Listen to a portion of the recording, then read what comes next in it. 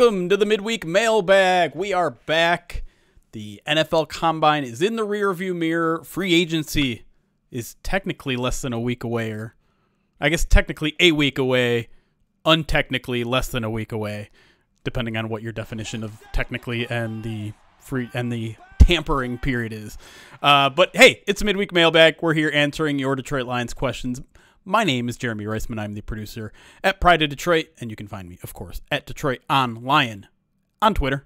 With me, as always, the machine, the managing editor. Insert a third nickname here.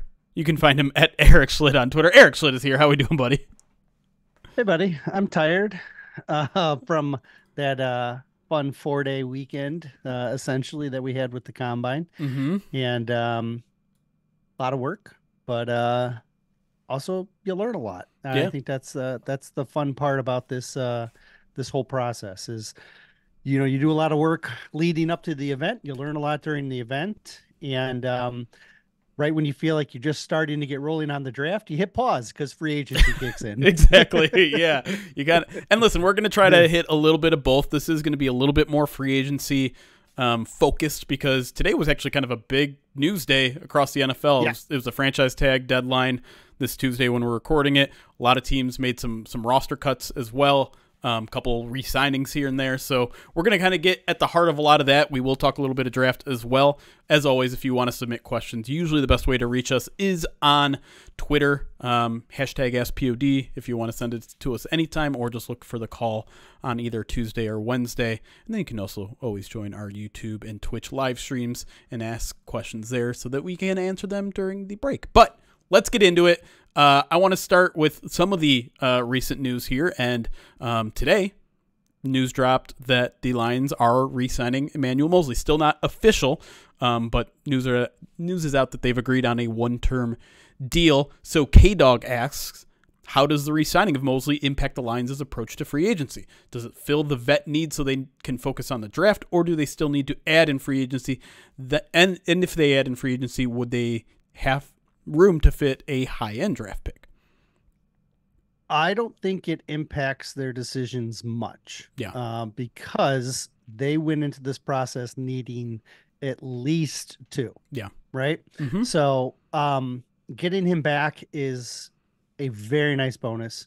Um, but I don't think there's anything more than in him being an insurance option. If he turns into Moseley that we saw in San Fran, that's starter level guy, CB1 level guy, and that's great. Right. Uh, at the same time, he has two ACLs that he's coming off of, one in each knee. One of them they had a delay. He could have another delay. Who knows? Like it's hard to predict. And we don't know the type of player that he's going to be. So he is a very nice depth option. And if he's your third cornerback, that I'm probably okay with that. At the same time, I think the vet need is still there. I Yep. think the the the longevity question uh, means you need to probably address the position in the draft as well. So I think they still need a, probably a guy from each acquisition stage.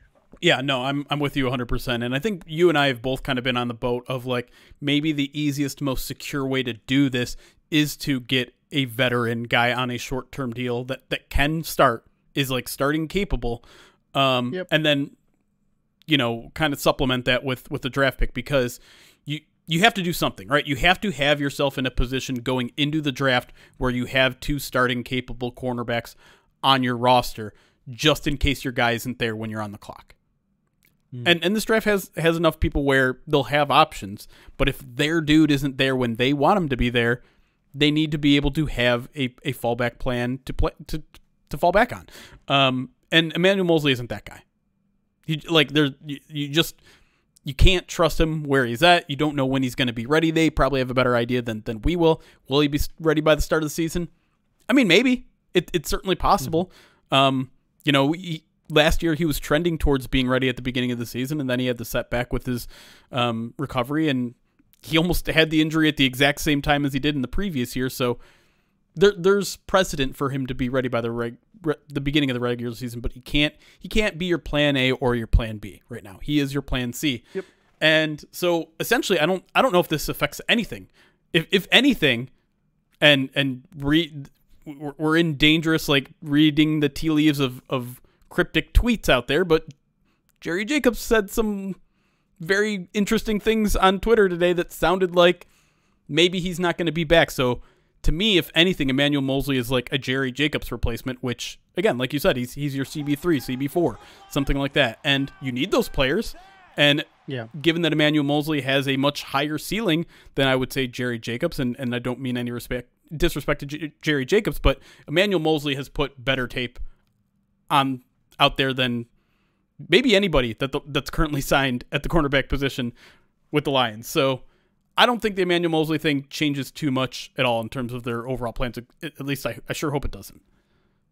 Yeah, I think the uh there's some adjustments that certain portions of the fan base need to I, I get used to, right? Yeah. And I, and this is this is new territory for a lot of us uh being you know having a having a Lions team that is uh I don't want to say they're not stacked, but like they have a, a a a more healthy roster than they have had in a very long time. They have a very good roster right now, Yeah. and they're set up to compete by adding depth.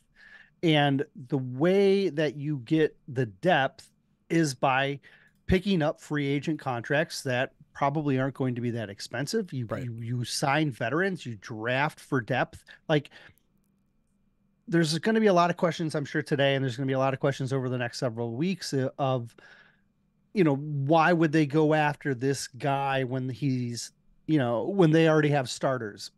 Because that's the stage that they're at. Yeah. They're at the spot where they only have a couple of starting spots up for grabs. And so they're going to be targeting good players that can fill roles that are maybe depth, maybe they push to challenge to start, or maybe they're, you know, just insurance options. Yeah. And so this is, we talked in the playoffs. How do you get to be as deep as San Fran? How do you get to be as deep as KC? This is how. Yeah. You you sign veterans that are cast-offs that are still good but are going to cost a little bit less. You add you keep guys that you think are that you can retain at maybe a little cheaper level contract. Not every guy you sign is going to be a starter. Those days are gone, Right. right? They're I- gone. And so go ahead. I was going to say, I feel like you're leading into our next question very appropriately here because Maybe. never know. an, an, another piece of news that dropped today, not necessarily Li- Lions related news, but the Seahawks basically cut both starting safeties, Jamal uh, Adams, right? And more more importantly to this conversation, Quandre Diggs. And so Chris Simmons on Twitter asks, with the news Diggs of being released by Seattle, how would you feel about a possible reunion if the Lions and CJGJ decide to part ways? And so again, like this feels like again like that sort of thing. Is there a a spot for Quandre Diggs on this roster for him to start right away? I don't know, right? Like I, I feel like the Lions would be wise to start their two really young, really cheap safeties in in Ifeatu Melifonwu and Kerby Joseph. Quandre Diggs would certainly be nice to have. I guess there, there's so many questions with this one because if if you know if you're building a Madden roster, of course this makes sense. You add a more talented guy who um, you know you, you know very well who's still you know I was talking to my buddy Mookie Alexander, the the guy who runs Field Gulls, and he's like, yeah, Diggs has still got something to offer, and and it's kind of interesting because his overview of Quandre Diggs is not exactly the one that I had of him. Willie Hughes, like he struggles to tackle sometimes, but he's very much like a good cover safety. I'm like, that's weird because when I remember Quandre, it's like him coming down and like making these big hits and every now and then make an interception. But of course, like he was also blatantly misused a lot while he was here. So um, it would make sense Sure. that Seattle probably figured it out a little bit more than than some of the coaches that were here in Detroit. Anyways, that's all to say. Quandre Diggs, would he come here? We know he loves Detroit, but given Yep. where he is at at his career, given that this might be his last chance to to cash in, he's coming off like a three or thirty million dollar dealer somewhere around there.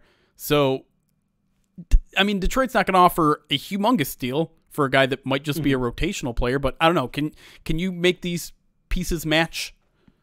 I, I look. I think the way it works in my mind is there's a, there should be an interest from Detroit, and there he should entertain the idea of coming to Detroit. At the same time, he sh- is he would be best served for himself to keep his options open and to look for a starting job because there are going to be situations out there that could offer him that. This free this safety market like people the most popular position getting cut this right now is safety. And then it's going to be a flooded safety market. So what we could end up seeing happen is a lot of guys getting paid and a lot of guys you know trying to wait it out. And if quandre because of his age is a guy that's trying to wait it out he might be in that like second or third wave of, yeah. of signings. And if that happens Detroit could come along and offer him a CJGJ type deal where it's like, hey, I'll give you five million dollars and let you, you know, come in and compete, and that might work out great because if if he's not, he should try and get a starting job. Yeah, uh, because I think he's a start starting safety, right? Right. But if that starting job is not there because teams are filling it with younger guys or different options or other guys, whatever for whatever reason. Yeah. If he goes through a wave or two, and he's looking at the teams where there's not as clear of a path. I think Detroit would be very appealing to him because he absolutely loves this city. Sure. Right. It's he he has. He always has loved the city. And he likes he he likes the ownership. He didn't like the GM or the coach at that was there at the time. Yeah. Right. And they're no longer around. So the path there is I think he could end up coming back in a similar way that kind of CJGJ did. For Detroit, you absolutely want a veteran. Right now, yep. if you include nickel as like your your third safety kind of option, you have three safeties. They're all on rookie contracts. Yep. And yes, you want those rookies to play, but you also need a veteran in the room. You cut Tracy Walker. He's your, he was your veteran. He's no longer there. CJGJ is a free agent. He's no longer he he's not necessarily returning. Maybe he does, maybe he doesn't. Who knows? But if CJJ GJ is gone, if Tracy's gone, you Detroit absolutely needs a veteran. Yeah. And Iffy has not made it through a season without getting hurt.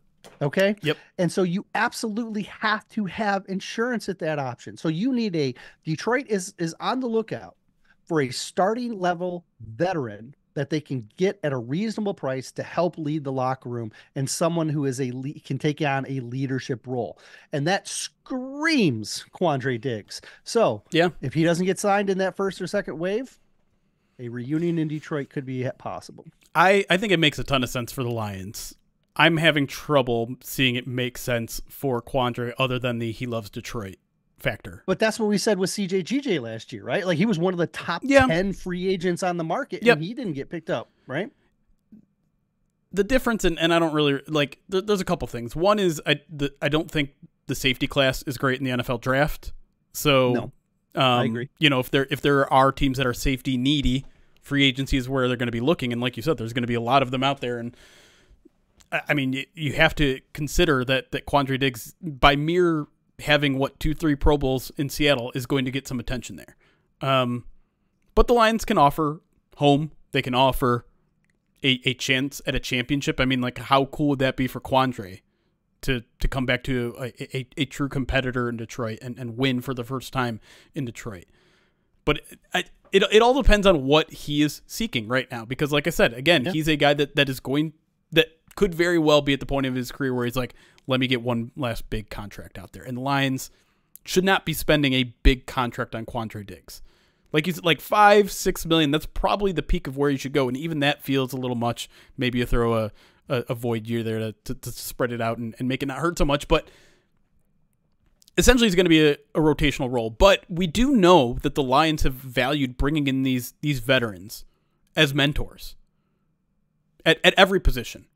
That it's something they've been doing since they got here. It, it's something that they've made a concerted effort to do to help develop their young players. And we, we give Brad Holmes all this credit for drafting all these young players, but the coaching staff also deserves a ton of credit for having the foresight to have that kind of plan in place. And so there's ways it can make sense. I'm the only reason I'm doubting it is because I think Quandre would be wise to to know what's worth and go get a last big contract out of a team that's a little bit more safety needy than than the Lions are. Sure. Although, if he's looking for a ring, it's weird to say that, isn't it? I know. But like, I, like, I've been using that for all of my free agent things. Like, Same. well, you know, the if the Lions want a patchwork one year veteran, they might want to come here for a ring. And it's just like I've never been able to type that before. That's awesome. this is great. Um, Yeah, he. uh I, I I'm I'm all aboard. Thi- You know, remember last year when we had this discussion about Graham? I am. I was all. Uh, we were both all in. I'm all in, all in on this. Bring him. Yeah. Um, on the other side of the coin here, and another common question um, from Innovating John on Twitter asked last week you sounded as if you're convinced CJ Gardner Johnson is gone. Why so? Um, I, I can kind of give my, my quick answer to that. To me, is CJ Gardner Johnson didn't like being in a rotational role last year. He said it. Nope. Um, he said, you know, I didn't go through all this rehab just to be a rotational player. Completely understandable on his level. And to his credit, he, he gutted it out. He played like a professional, finished the season without, you know, throwing a fit.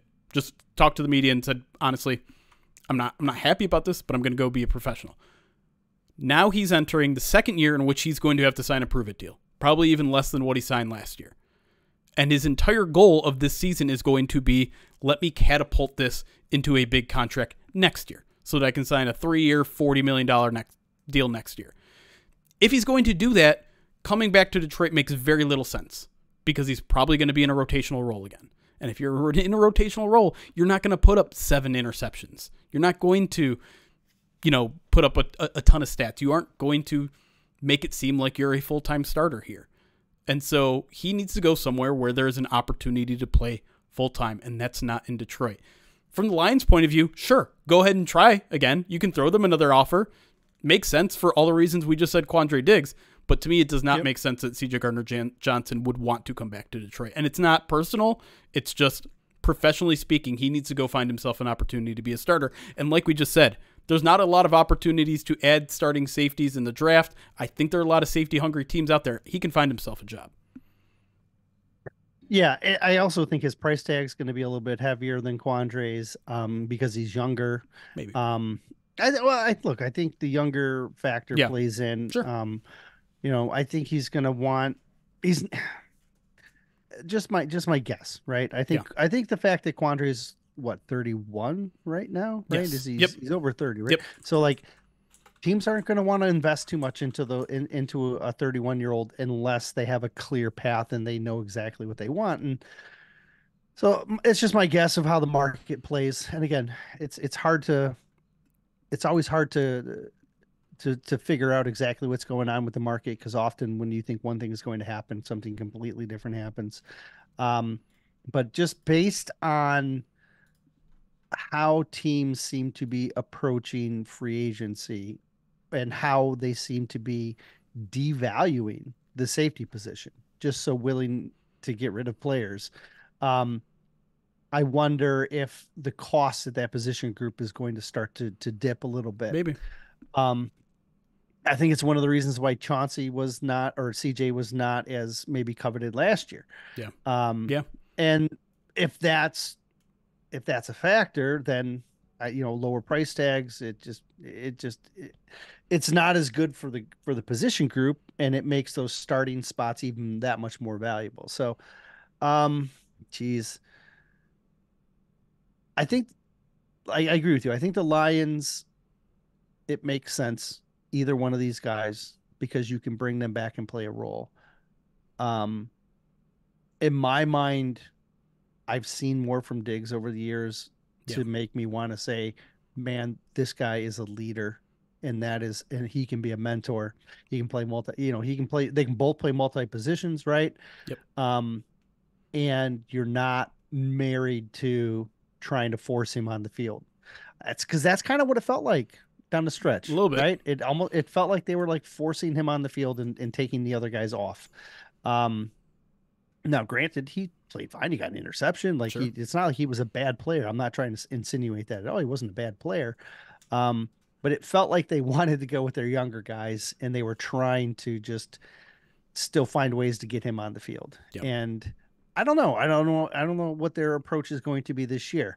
I mean, who knows, right? Like there's so many factors that kind of are a bit unknown at this stage that I think we have to keep a lot of the options open when we start um, evaluating which players might fit, which players might not, and just uh, free agency as a whole. Yeah, I mean, the lines have made it abundantly clear. They just want talented players, and they'll figure out the configuration after that. That, that's my approach. Yeah. Right? That's my whole approach to the offseason. Yep. Bring in football players and let Dan Campbell figure out where they play. Yep. Right?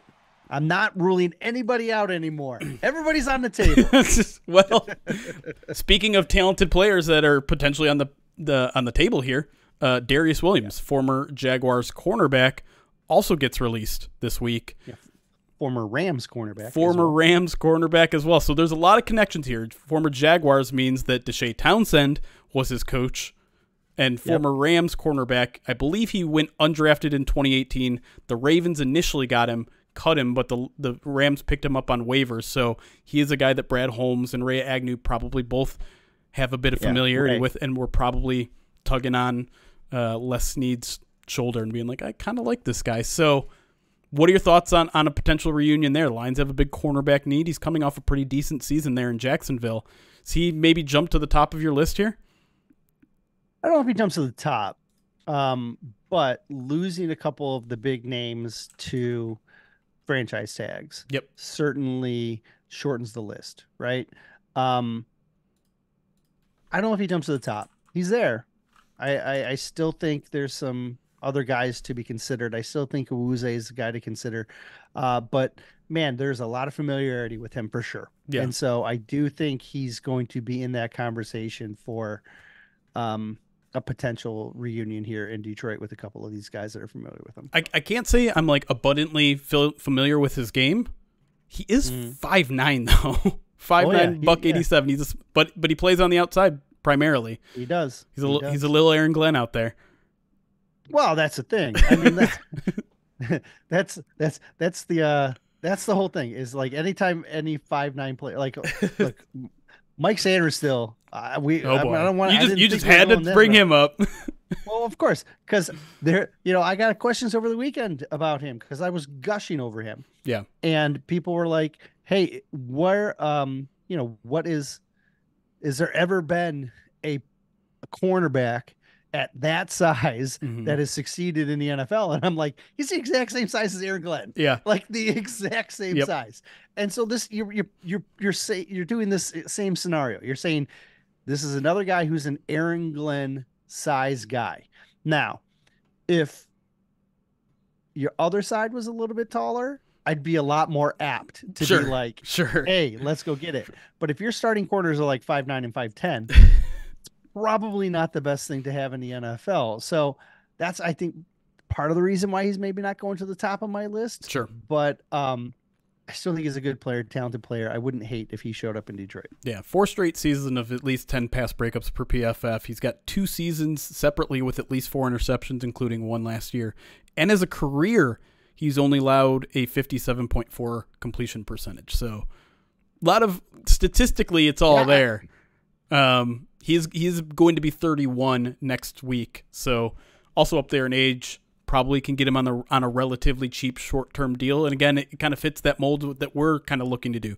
Sign a short term older guy that can that can fit and play now, draft as well, so that you're you're set for the future there as well.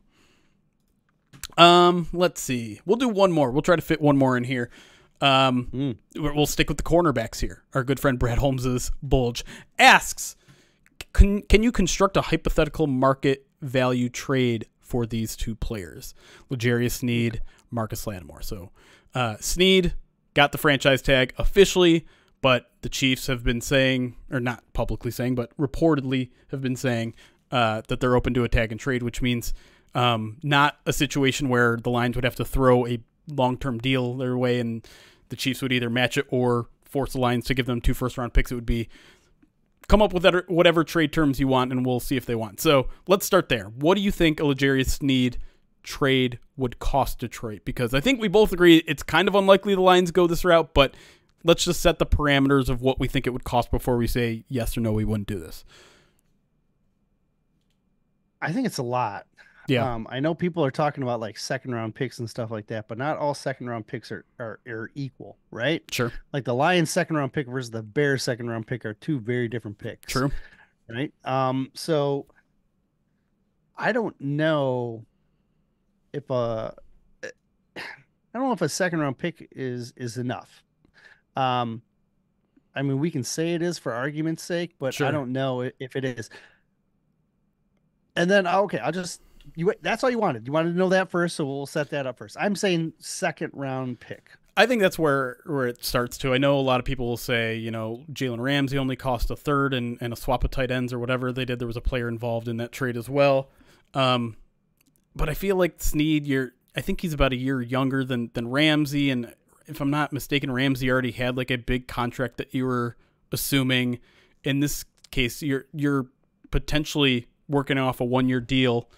That's what 19 million or whatever for the franchise tag, and then from there you- you're gonna have to pay a bunch. So I mean, maybe you get away with third round pick, but I I kind of doubt it, and it would have to be Minnesota's third round pick, not your own third round pick. Um, yeah, 72 or whatever it is. yeah, right? and I think I think the issue that you run into is how much competition are you going to have for L'Jarius Sneed? How many other hungry cornerback hungry teams are there going to be out there? Um, but I think I think like if even if we're talking a day two pick, I'm probably out. Right? Like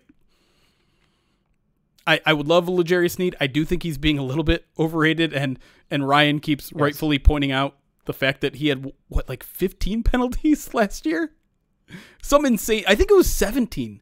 I think he had 17 penalties last year, and I don't see anyone talking about that, which is like, I mean, that matters. That man. Yeah.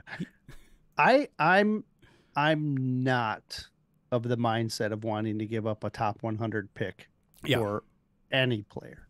hmm Like uh especially I mean is in this free agent market, right? Right. Like I don't like the idea of having to give up capital to overpay Yes. someone a free agent price tag. It doesn't make any sense to me.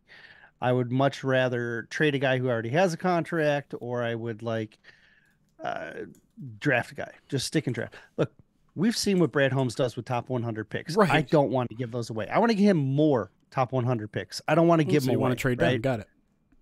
Well, I want more picks. I, I, I don't, whatever. Right. So I wouldn't trade a top 100 pick for any free agent. Yeah, that's fair. Uh, what about Marcus? I, I did again. Uh, Marshawn Lattimore. Um, because that's that's kind of interesting. We won't get into the nitty gritty of the, the contract details stuff. The the only thing we'll say is, in order for it to even make sense on the Saints' part, the Lions would have to wait until after June first to complete this trade. Now they could agree to terms with it beforehand, but they can't complete this trade financially for it to make sense for the Saints until after June 1st, which means a weird situation where you trade for Marshawn Lattimore, but he's not on your roster during OTAs, during during minicamp, all that. You basically miss the entire offseason program until training camp. So let's start again with with what it would cost to trade for Lattimore. Um, this one would be rel- like extremely more cheap, correct? Well, I would think it would be cheaper. I think you'd be talking about a third rounder at, at this point for him. Ooh. And a lot of that is the same reason that you're talking about um, Jalen Ramsey is because he carries a contract that's Yeah. that's expensive. And I don't they did something to the contract that I'm I don't remember the exact details of it, but I seem to remember them making some alt some like kind of unusual Yes. adjustment to it Yep. uh, in order to make it more tradable. I just don't remember the parameters around and what that entails. Like, Yeah. what is that? There's Like, an how option. much- Yeah, it's it's Right. messy, but here the the Lions can make it so that he has a 15 million dollar salary cap hit this year, which is basically his base salary, and then not have any money, any guaranteed money committed beyond 2024. So it'd just be an 18 million dollar salary and an 18.5 million dollar salary in 2026. That's that's all they're on the hook for, and no dead money in 2025 or 2026. Is that ma- okay? I'm, taking this from Over the Cap. Yeah, Over the Cap wrote an entire then- article on this, and and to be and I want to throw I want to throw an art I want to throw something Okay. from the article out there too. They were suggesting it would only cost a fifth, Oh And- wow! and I think and I think the reasoning for that is the injury history. okay. Um, I mean, if it's a fifth, it's it's a lot more palatable, Right. Certainly. Yes, Um, you have a guy who's had a lot of success. Um, you ha- uh, especially with this coaching staff, right? They know him. Um, he's still young, right? Like I'm trying to look up his age too. Um, I want to say 28? 28 ish. Yeah. yeah, he's 28. So, um, I'd be more okay with a deal like that because he's worth that price tag. And I'm not, I- I'm not against paying him, paying a corner like a, a- a heavier price tag. That that's not it. But like, if you're giving up a fifth, it's essentially a throwaway pick, right? Right. Like that's a Right. gamble pick where you're using it to draft. Like, so I'm not worried about giving up anything. Like anything beyond the fourth round, I don't care what it is. Um, Yeah. I just don't. I, you can you can oh you can trade it away. Yeah. You can. It's just that's the way it, it is. It's all gamble picks, and so if you're giving up one of those picks, basically to take on a contract and you're getting a good player out of it, you could have you could have a Jared Goff situation on your hands, right? Sure. Where you end up like, hey, I have a it's a pretty good price tag, but I'm going to get a player that I know can play. Um, And they know that Marsh Mar- Marshawn Lattimore can play, right? He, he a comes with a plenty plenty of connections to the, the current regime. Most importantly, of course, with with Aaron Glenn. Right. So yeah, for a third, which was my original like first that popped in the first idea that popped in my head, I I don't know if I'd be on board with that. If Yeah. you're talking now fourth, I'm getting a little it I'm I'm more warming up to the idea. Fifth, I think it's that's a lot easier. Yeah. And and I'd be a lot closer to saying yes to a fifth. Um, because it's essentially like nothing. Yeah. And I don't mean that in a bad way. Like I, I don't. I mean, but the way that fifth round picks are valued. Like so yeah. It'd be like it'd be like in my mind, if you're trading a fifth for him, it's essentially like signing him to a free agent contract where you're giving him Right. 16 million per. And I think that's palatable. Our live audience is, is screaming trade away the Eagles 2025 fourth round pick that the that the Lions got in the uh, D'Andre Swift trade. Which hey, I mean, I'm on board. Um, but again, right. because you can't uh, the, the again like the key to this deal is you can't give them a 2024 draft pick because the trade if if you want um, if Right. if it makes sense for the the uh, the Saints you have to consummate the trade after the draft. So um, you would be digging into 2025 draft picks if it was a draft pick Yeah. trade. So maybe maybe So that's, how you work it out. If they did that, it you know, are you okay with trading away D'Andre Swift for for Lattimore? I think most Lions fans would say yes. Yes, absolutely. All right, let's take a break here. That was a super long first segment. When we come back, Yes. more of your Lions questions, maybe a little bit of shift into draft talk when we come back here on the midweek mailbag.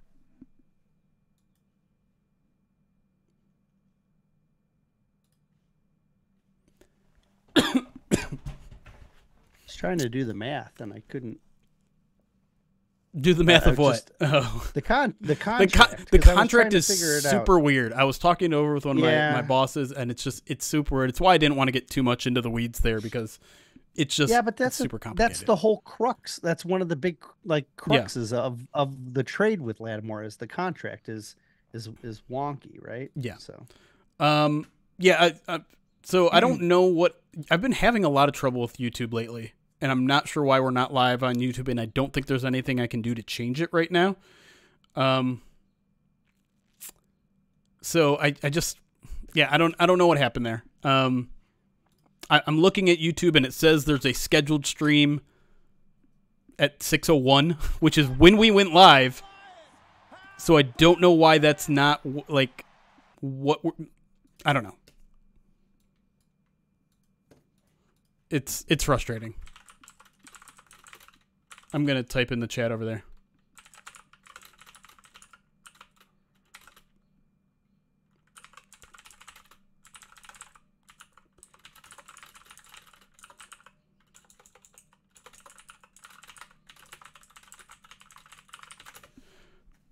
I will. So if if you're YouTube native, um, and I just typed it in the chat there, uh, I will upload this stream to YouTube so that If- uh, if you are a YouTube person uh, that usually uses YouTube as a, your primary source for this, and you have Amazon, you get a Amazon subscription to you can get one Prime uh, or one Twitch subscription through Prime, and so that will eliminate your commercials because I saw True. that in the chat. Yeah, so true. if you're like, hey, I don't want to pay for a subscription, and I also don't want want to watch the commercials, and YouTube's not working, you have Amazon pays for one Twitch subscription for you a month. You just have to apply it. So when you go down to like where it says like, do you want to subscribe? There's you can click. Uh, there's like a little tab where you can click use my Amazon Prime, and it'll boom, Yep. and that gets you in, and then it eliminates the ads. Doesn't cost you anything because it's all part of the subscription that you pay for on Amazon, and uh, there you go. Look at that. Erik's I- shilling for for the Predatory Twitch page. No, but like I, I feel that. Yeah, I no. feel that like I feel I feel the I don't want to watch the the ads in the middle of like what's happening. It's so That that's Yeah, also a good point from Woodchuck Hunter. I don't think you can do, use your your Prime sub if you're using the the Twitch app. So you're gonna have to jump on the uh, mm, your desktop or, or laptop. um, but yeah. Um, speaking of which, let me thank a bunch of people on Twitch here. I guess I don't have to delineate between Twitch and YouTube anymore because for some reason uh, YouTube's not working. That's weird, John. What happens when you hit click sub? Do you, if you scroll down, there should be an. You know, I'll just show you how to do it. I don't know if I've used my Twitch Prime. But let's say, well, I know I'm subscribed to John. Let's say, let's who am I not subscribed to here? Most of these people. Seth Dan Drums. Dan's not live. oh okay. So you hit resubscribe. Blip blip blip. I believe in you. All right, let's just mute him because he yells. Um. All right. Well, it says I, I must be already using it, but like down here, there would usually be an option. If I, this isn't gonna make me do it. Okay. No, Um, no, I would- I don't know. There's usually an option around here where it would say yeah, it's like a it's like a little Prime.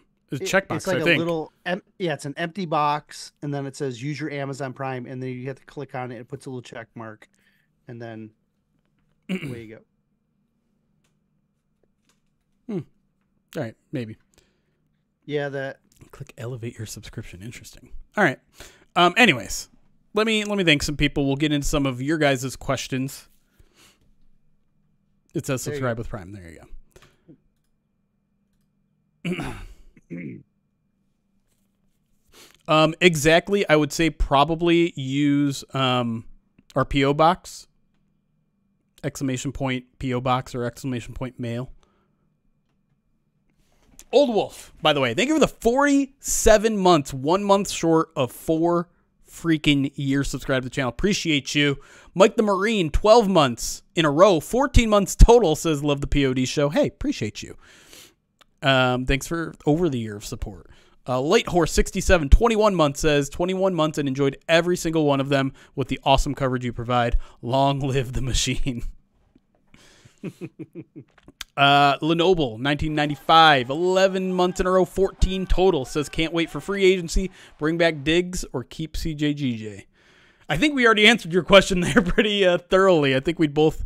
Pro- I mean, I'm cool with having either back. I think Diggs is the more likely. If I had to guess, neither of them, but Diggs seems more likely. I don't. I don't see a, a way Gardner Johnson's back. I'm getting Graham Glasgow vibes with with uh with Diggs. Listen, I mean, uh, I the reunion stuff. It it has its benefits. It has its drawbacks. Sometimes you get a Graham Glasgow. Sometimes you get a Marvin Jones. hmm Sometimes you get a Jalen Reeves-Maybin who's an All Pro. S- I mean, of sometimes you get a Kelvin Sheppard. Sometimes you get a Dre Bly. what did Shaun Dion Hamilton? He went somewhere else and then came back, right? And uh, and I mean, Sure. now he's on the staff, right? Yeah. So True. Yeah, or did he just start in Washington then? I forget. Um, yeah.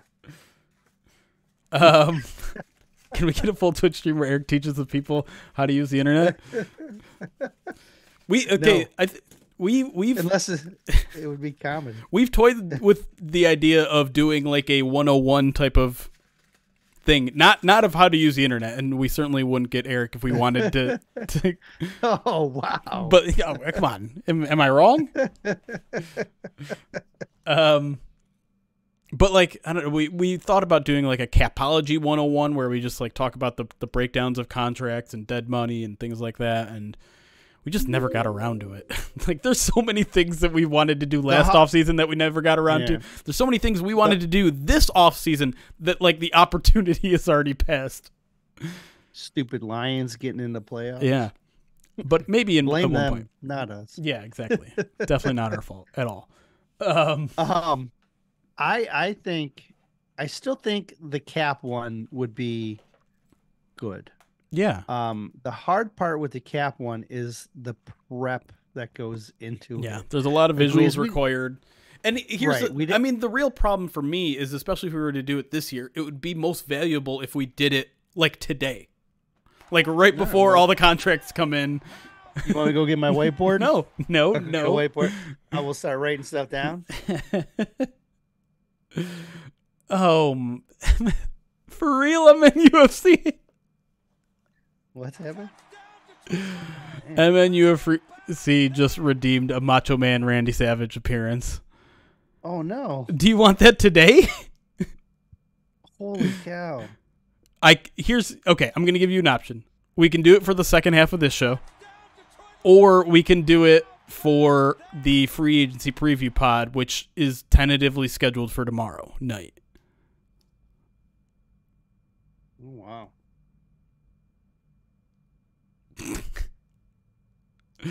Uh, I'll let you think that over, and while while you do, I'm gonna read the rest of the alerts here.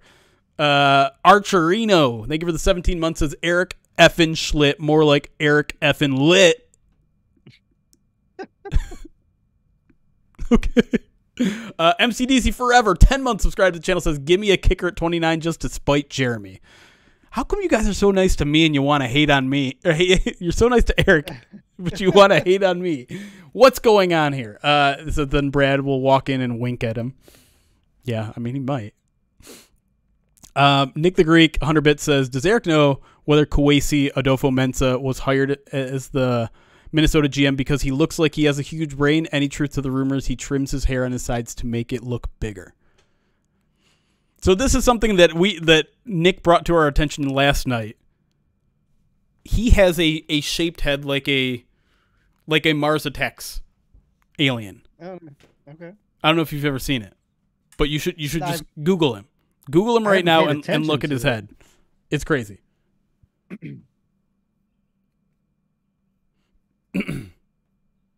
It hasn't helped him with some of the trades he's made. um, Damn. I was so like I was completely unaware until I wrote that article today about how mad Vikings fans were about the them trading away that guard midway through the season to the to the Jaguars.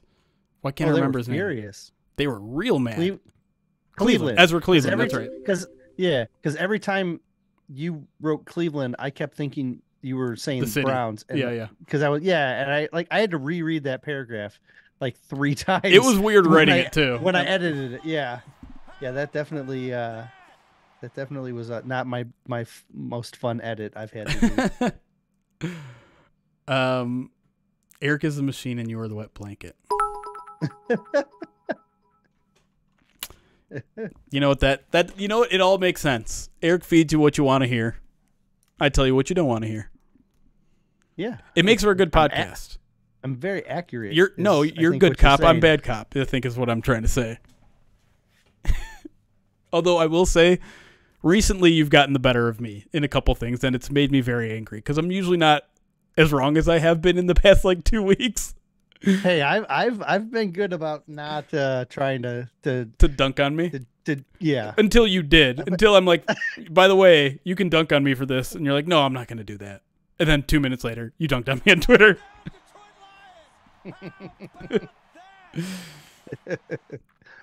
I, I will say, okay, so the latest thing I was wrong on. This is me. This is me taking uh, responsibility. This is me being culpable for my mistakes. Oh. Is is I've been saying pretty much all off season that the Lions got relatively lucky when it comes to their injuries in 2023, and it's something that I still I still kind of hold on to at least a little bit, but the I've been the the one like ace in my up my sleeve. I've been like, you guys just need to wait for the adjusted games lost to come out. just wait. Football Outsiders used to do this thing, adjusted games lost, which basically count like it weighs not only how many games you lost to injury, but how good those players are, how much value they bring to your team. Turns out, with one being fewest amount of injuries and 32 being the most of, amount of injuries, Lion, the Lions finished 18th in adjusted games lost. So very average and and if anything a little bit more than average, but I still maintain that their best players were extremely healthy in 2023. I think I think they're unfairly getting hurt by like Halapoulivaati Vaitai, which I'm like, eh, was he going to be that good of a player anyways? Was was he going to give us that better play than Graham Glasgow did? Well, I think it was. I think it adds up more than you think, because like Jonah Jackson gets banged up. Uh, you lose Alim McNeil late. You yeah. lose Gardner Johnson sure. for most of the season. Yep. Like I think it's just. I think the way the reason it's deceiving is because of they were kind of staggered right? They were. Like normally we get hit like it's like, oh man, now they're missing like half their starting but like that, defense. But that's also kind of the positive of it is it never feels it never felt like it hit, hit the same position over and over again. Like the Lions weren't like because I feel like in years past it was like you just lost every single corner on the roster. You just lost like right. in 2022 is all the guards died in the first month of the season.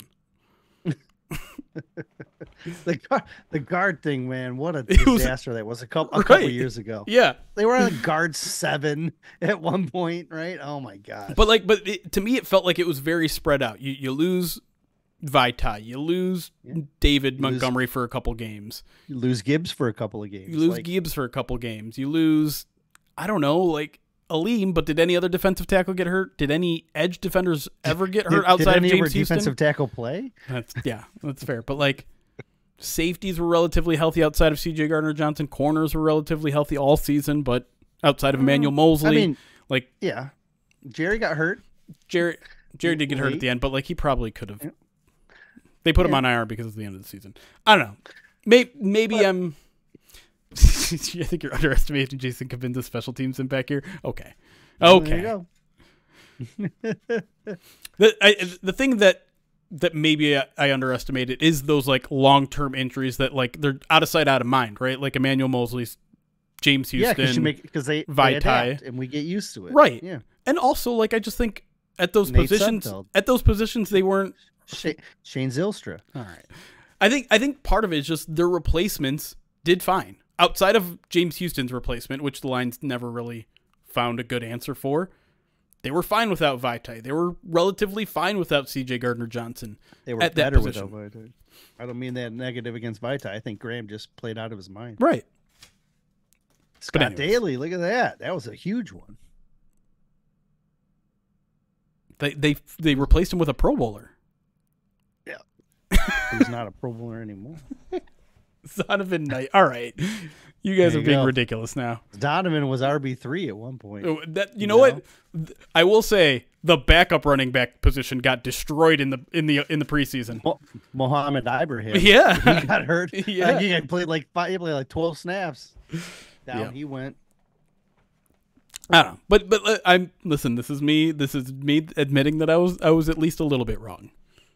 I I really expected the Lions to finish top ten in, in adjusted games lost, and they didn't even finish top half of the league. What's the other thing you were wrong about? Well, I'm not wrong about it yet. But we had a discussion on this show, was it last week or maybe the week before, about rule change about potential rule changes and you were banging the table saying this these this league needs to get it together and get laser technology for first down chains and blah blah blah blah blah and lo and behold like 3 days later Tom Pelissero's out here and saying like, "Oh, the league is looking into new technology to help whatever, whatever. it was very loose language, and it, it's not like they're going to have it next year. But but yeah, I guess they're they're moving in that direction. We'll oh, it's going to make things better. I, I, but to me, it's just like I need to know how it exactly it's going to work because the whole my whole point was like it's not just about where the ball is. Like it has to be where your el- when your elbow's down, or is your elbow down first, or is your knee down first, or is your thigh down first? That sort of stuff is is harder. And and when one is down, is there a camera angle that shows when the other is down? but you might not need it. That's the whole point of the laser technology is if you can determine when a knee or elbow was down, you can then use the technology to say where's the ball. Because if the ball is in the, Oh, so you're what's put are you putting thing? it in the ball? Are you is now there a chip in the ball too? Oh, yes. Okay. Yes, I'm putting a chip in a ball just like soccer. Chip in a ball. Right? Because it's gonna mess up kicks. Why do you hate special teams? it, it is not going You have a separate ball to kick anyways.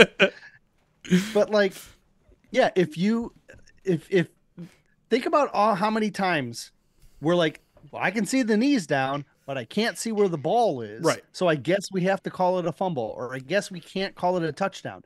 Now with this, now with chip technology, you can be like, oh, let's see where the ball was at this frame. Oh, boom, boom, six.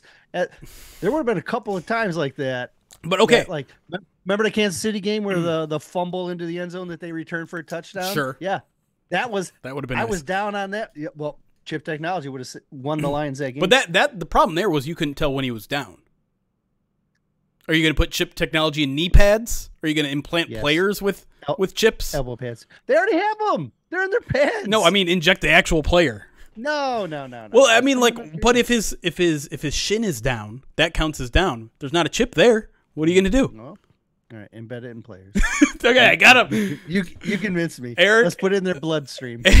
Erik is full on Elon Musk. Let's put chips in people's brains. Bloodstreams. There you go.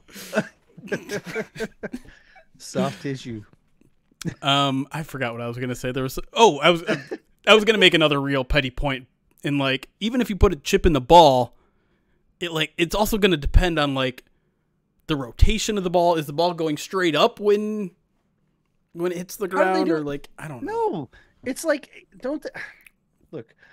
I don't know the exact technology. I seem to remember they're like they do it with a round soccer ball. For goodness sakes, they do it with a round tennis ball. Like there's a way that it covers the ball. There's Like- I don't think there's a chip in a tennis ball. To, for the record. this is this is the whole argument that we had. Is just, I just don't know how it's going to work. That's what I want to know. To me, it does not seem easily feasible.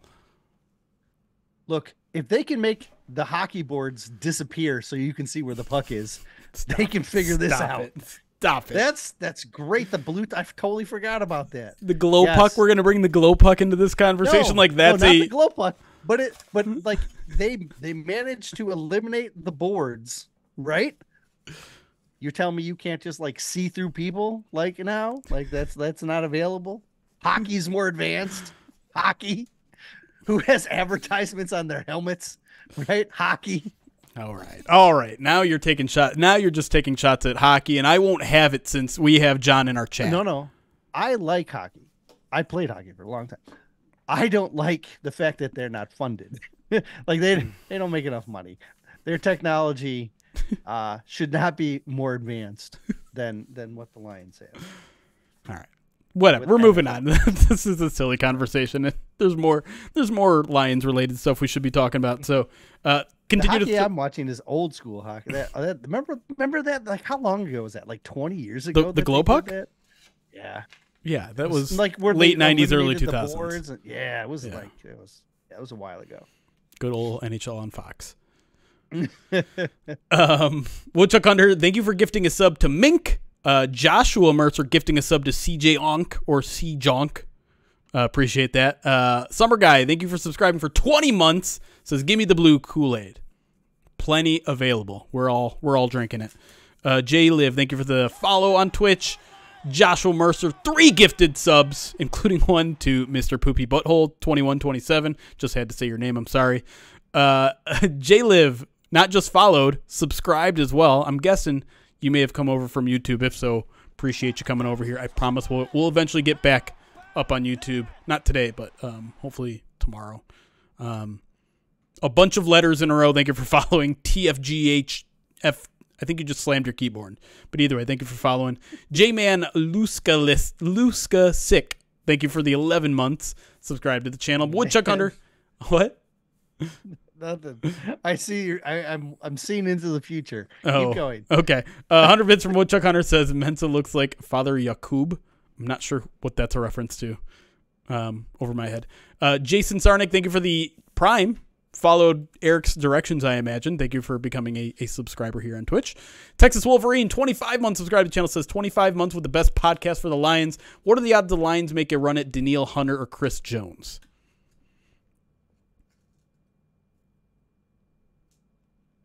I think they're both going to be priced out, right? I don't think Chris Jones is going anywhere. I think they come to an agreement before Monday. Yeah, I think before Monday. You think? I do. Okay. He he was. I mean, granted, he was he was drunk, but like he made very clear at the parade, he's staying. He's staying. yeah. Uh, as for Danielle Hunter, I don't know, man. It'd be nice. I think it's going to be priced out. I think so too. yeah.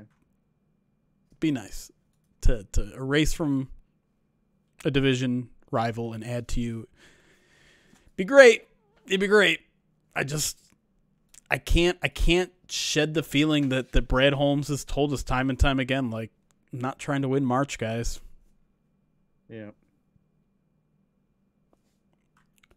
Father True. Yakub meme? Is it this, this? Oh, okay. I think I think this is what you wanted me to see. that guy, I imagine. Also, I like that by the way. it kind of fits into our layout here. Like this is just like big old headed me and this is big brained Erik. Anyways. Um JT Sam, 22 months subscribe to the channel says three sweet Oh boy. is this what is this what you were talking about? Three sweet switched Swiss watches. Watch three washed switch Swiss which swatch watch switches.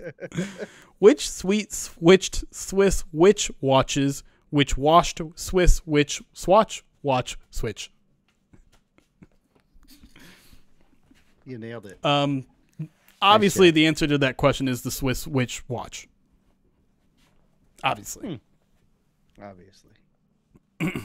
uh, Maybe we should we switch the pictures and put the big brain on you. um, yeah, guys, I don't, I don't know why the YouTube stream didn't work. I'm not happy about it. I've been having some minor issues with with YouTube, um, really for a, a couple weeks now. So, um, you know what? I think I should just. The way you talk about YouTube, it sounds like it's like an ex girlfriend. I've been having these troubles with YouTube. There, I, She doesn't do anything I say. yeah, yeah. it, I keep asking her to help me out. I can't get my stuff back. All right, so it's gone from the live options now, so it's not there's not going to be people waiting anymore. And, but yeah, I don't I don't know, didn't work. I'm sorry. I left a comment over there saying like I'm sorry it's not working, but I, we will upload it to YouTube after the show's done. So, anyways, uh, if you guys have some questions, we'll, we'll answer some questions now. Uh, before we get back into the show, we have a, a bunch a lot of a lot of really good questions here. I think we have one, two, three, four, five still to go. And you know, considering we take twenty minutes per question, that's that's a good hour of show left. You got to be thorough. That's right. Uh, question: Don't have PFF yet. What's what's Darious Williams' run defense grade? Not good. Last I checked, I think. And I know that's like a do or die type of thing. Again, I'm not that familiar with his game, so I can't tell you. Like, okay, he was he was a 29.9 last year run defense. Now I don't I don't know why. I don't that's that's kind of the key, right? Like, is he a bad tackler? 58 grade as a tackler. Is it that he's unwilling to tackle? Is he a bad run fitter? I don't I don't know. And I don't know how PFF grades the run defense because if he's an unwilling tackler, that makes him a no-go from the get-go. Right? Like but Certainly would not be uh, what you want, right? we we've heard I mean I didn't I didn't hear but he talked to reporters at the combine um Townsend that and he said like basically yeah if you can't if you can't tackle you're not playing for me well Darious Williams was their starter for the past 2 years so either they didn't have a guy that could tackle on their roster playing cornerback or Townsend believes Darious Williams can can play run defense, can tackle. Yeah, it's it, it. There are a lot of cases in which PFF's grade does not line up with what the what the coaches see. Right. So that could very well be the case. True. I have a really important question for Jeremy. How am I doing? Great. Thank you for asking. I'm I'm a little I'm a little stressed this week. I'm not really sure. What, well, I do know why because like free agency is around the Free corner, yeah. and I'm just like, are we prepared? I'm trying to do this big free agency preview series that is probably more work than I need to be doing. But I almost mm-hmm. feel like I owe it to Erik considering he's worked his ass off for the past 17 days doing combine preview and post view.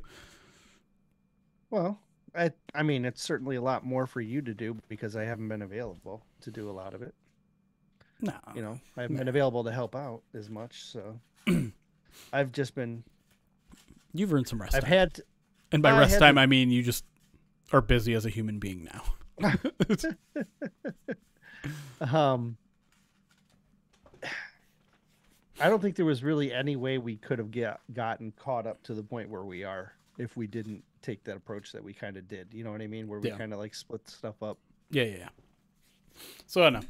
Erik and I are gonna have to talk about how we're gonna approach free agency too, because like obviously when when a signing happens, there's a whole list of things that we typically want to get done for that particular signing, Oh, and we got to divvy that up between ourselves and the staff. And I'm gonna be in Florida in in like a week and a half.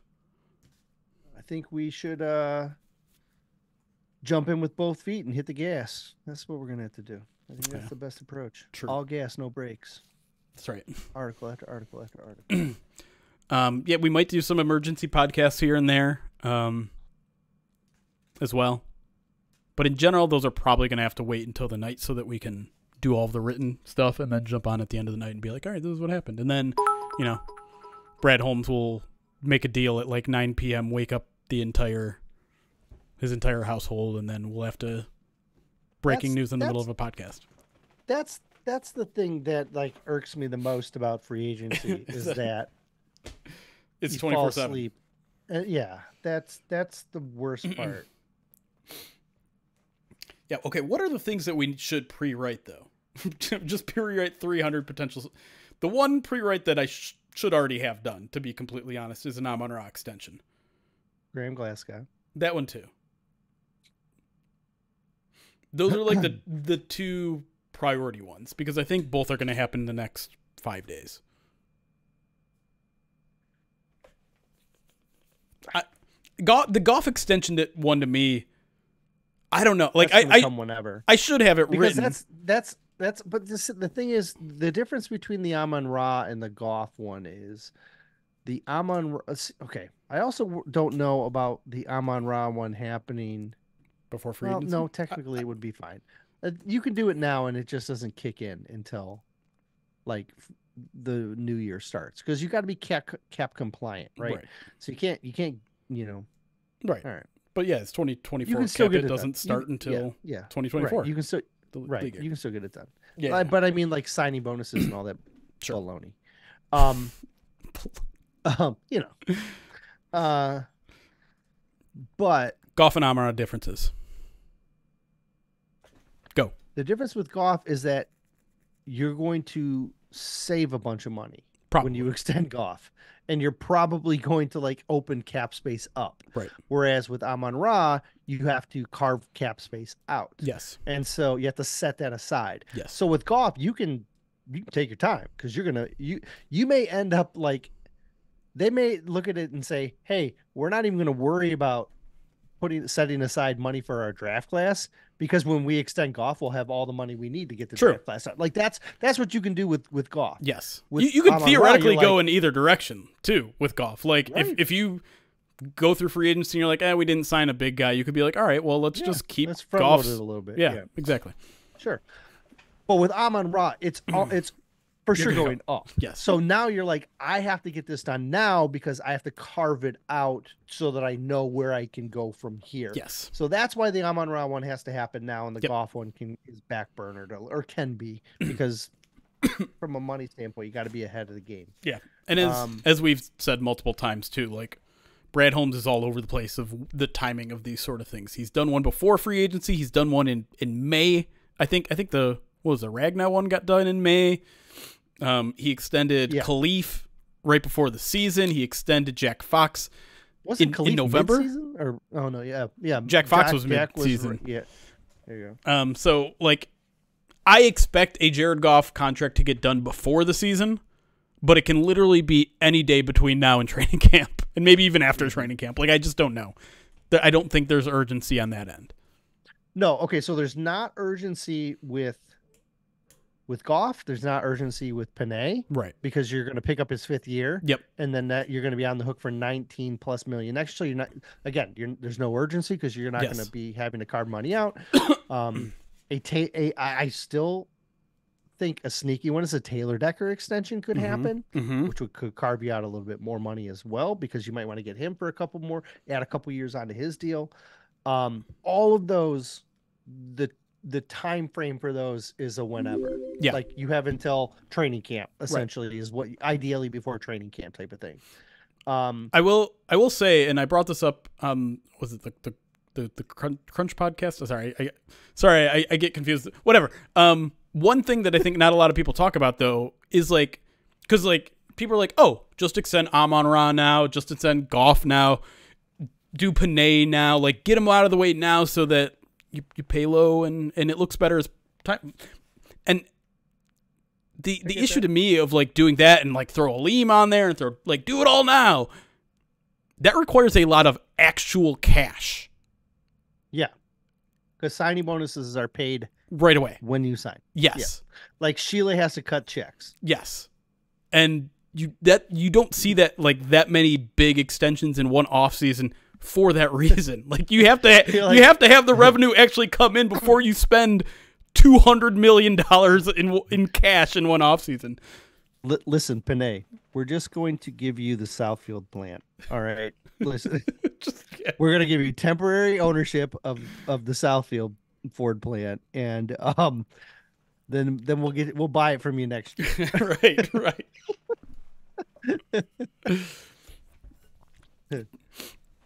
I threw the like when I was on the podcast. I threw the word escrow in there. I don't even really know what that word means. I know it, it has something to do with like putting money aside. I'm still a child at heart. Like I, I don't know grown up things. I barely know what a mortgage is. It's like rent. Yeah, I Just mean, think of it that way. yeah, it's it's like a monthly payment. It's, just- like a monthly car payment. Oh, yeah. I- Except it goes but I don't- towards something. I don't know what escrow is. I, I don't.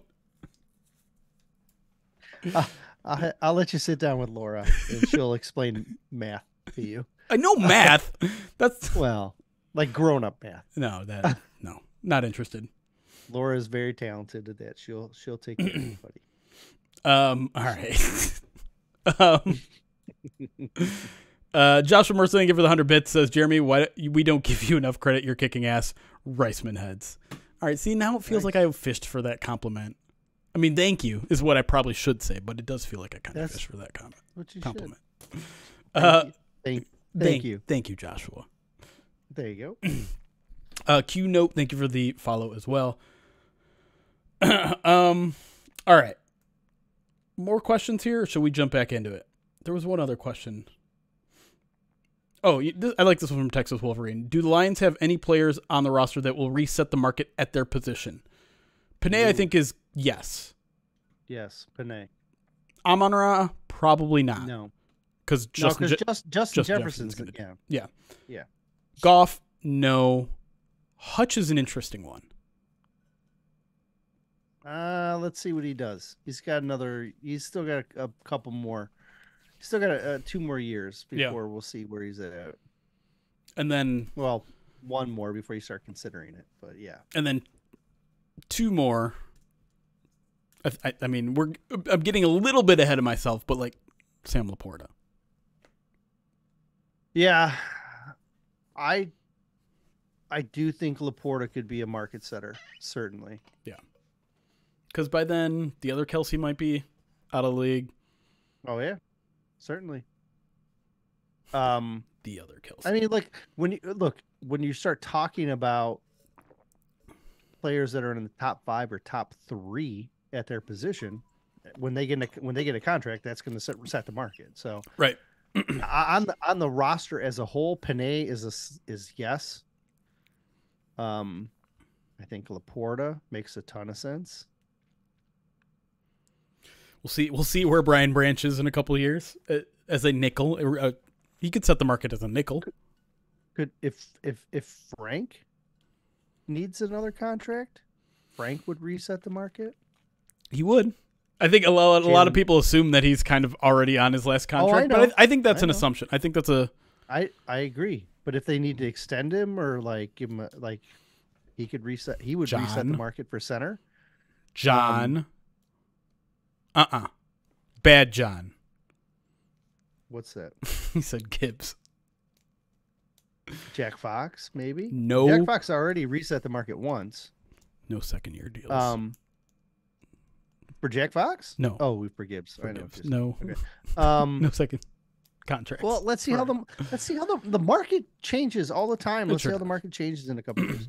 Yeah. Um,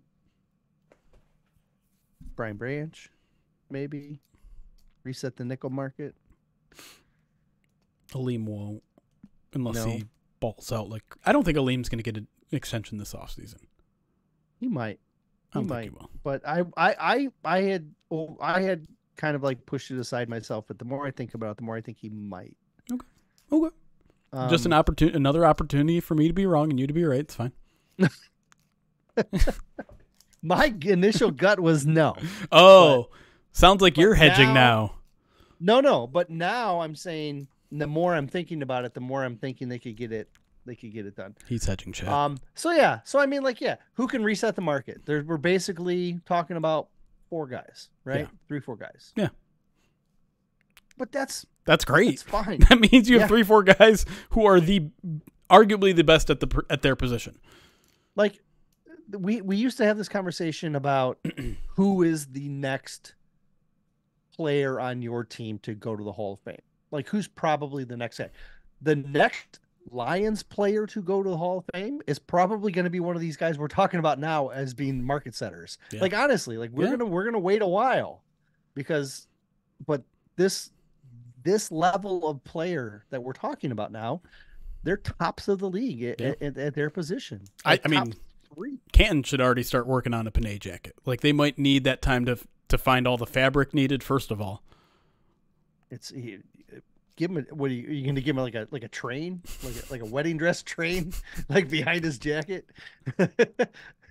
like he, God, he's going to get so much money. Yeah. And then He- I, I mean like Amon Ra as an interest like to me if I had to put my money on on who's going to be the next Hall of Famer of the Lions I, I. I don't I don't know if Frank's going to get it. I think Frank's got a chance.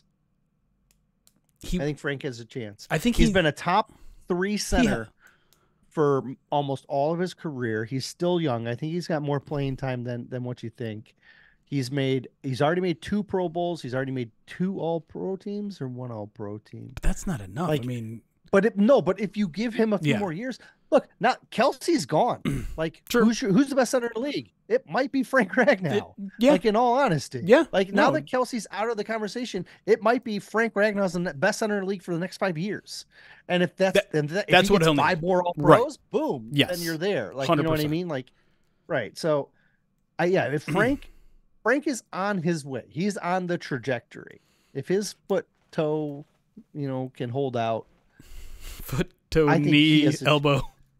Yeah, I think he has a leg- like he's going to be he's as good at center as as anybody in the league. I don't know if there's Yeah. an- another guy that I would be like, oh, I'll take him. No, You I'm know what I I'm, mean? Like, I'm with you there. It's just it's just now he's reached that pinnacle, at least in the public mindset. Like I agree with you. He's probably been in the top two for four years now, Yeah, but that's only really caught on in the last one or two, and now well, that's that's his when his all pros are starting to come up, right? and now now he has the reputation, which means he's he's got he's gonna have a leg up in terms of voting. The Lions are good, and so they're gonna be in the in the national spotlight. So they're probably gonna get more Pro Bowl votes and All Pro votes. Um, so yeah, to me, it's just like he needs five more years, five more years of regular awards, and then and then he's in the conversation. But Pan- I mean, Penei's like already the best person. He's already the best person. He was the best person at his position two years into his into his career. Right, and he's and he's like 17 still. I think. Right? He's Yeah. like 17 years old. I think he's he's just he's now able to vote. My man, I got a, I got a year wrong, I guess. Um, yeah, um, jeez, I, I am like it's obviously way too early to have some of these conversations. But, sure, like, but it's we're we're in between them speculating. No, no, no. It's not like this But, is going to like, be I- memorialized. Those two here. are trajectory are in the going in the right trajectory. Amon Ra is going to be a really interesting one for me. Like he's obviously on the right trajectory too because he's first team All Pro this year in year three. But like there is kind of that you know he isn't the prototype type of guy who's who's you know who again? Amon Ra. Wait, oh, well, because he's not a big outside Right, X right. guy, right? Like, I don't know though. Like here, I think a lot of those walls have broken down. Um, if you can do it over a long period of time Sure. consistently, and everything says that he can. Like he can Hines Ward his way into, Right. you know what I mean? Like always been the Hines- like comparison Hines- for him. Listen, right? And and Hines, go ahead. I was just don't. I mean, I'm I'm just trying to say like I don't know if Amon Ra is a Hall of Famer, and I'm hoping he's watching, so that like I'm I'm just trying to add the chip on his shoulder. Like, oh, you don't. Jer- this kid who claims to be a Lions fan doesn't think I'm going to be a Pro Bowler. He better go watch the next 15 years of my career. Uh, But I, ho- I hope he just watched everything before what I just said. yeah, I'm sure he has selective memory, right? Yeah. Someone just clip that part. No, don't don't actually do that. Like you're going to make me look. No. um. Oh God, I got something in my eye. It's your fingers. Take it out. Excuse me. Yeah. Oh, it's much better. um. Yeah, Anyways, I think we're. I is think- Edel- I think we- Edelman's not a Hall of Famer, is he? Jeez, I don't know. I'd have to look at some of his numbers. I mean, some of these guys that were on like those Patriots teams are gonna get. They're gonna be like, "Oh, you have five Pro Bowls or five Super, Super Bowls, Bowls, Like, yeah. Right. That's gonna help. Nah, Edelman. Edelman's not eligible. Is it five years after you retire? Say that again. How long after you retire are you eligible? I think it's Is um it five or is it three? It's either four or five. Um, Okay, he retired in 2021, so he's not even eligible yet.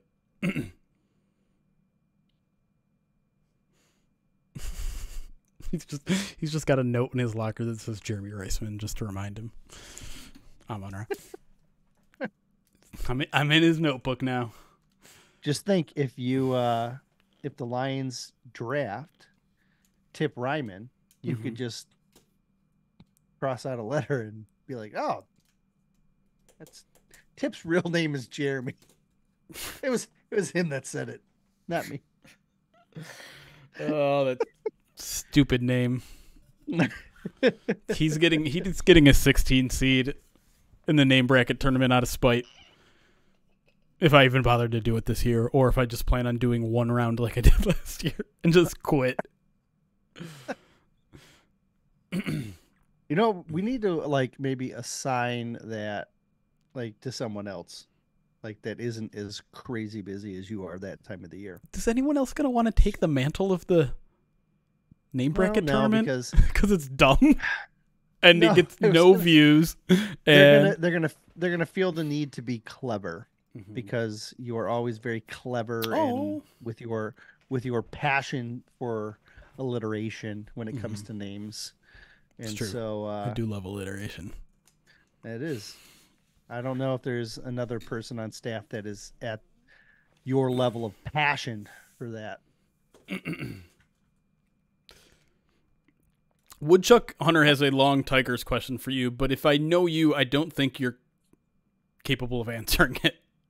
I have not. I look. I have had my head buried in draft stuff for Yeah. for So- the last three weeks. So you're a phony, so is what you're saying. I have not looked at anything. Uh, I can support my local team. Um, I, I, I, have a Tiger. I, Eh, the the the the English D is iconic. So I, th- I think um. when I see someone with that hat, I don't think, oh, there's a Tigers fan. I think, oh, there's someone that likes Detroit. There you go. I um I can't even tell you how much I, I how much time I spent just trying to like narrow down the list of players to get the 80 that I suggested watching. and then I didn't I maybe picked half of those guys for my standout performances like where I was able to like oh this guy was in my uh, watch list so I know everything I know I need to know about him. Right.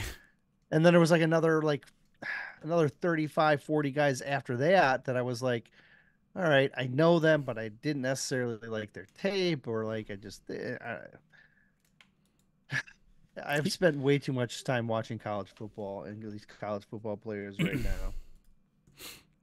now. I don't envy you. That sounds awful. Just No, looking up. YouTube clips all freaking day. Well, not just that, but yeah, but yeah.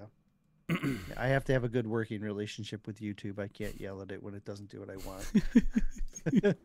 I can. Erik did use Oh, the word yeah, smooth wrote- a lot. Just I, call him Santana.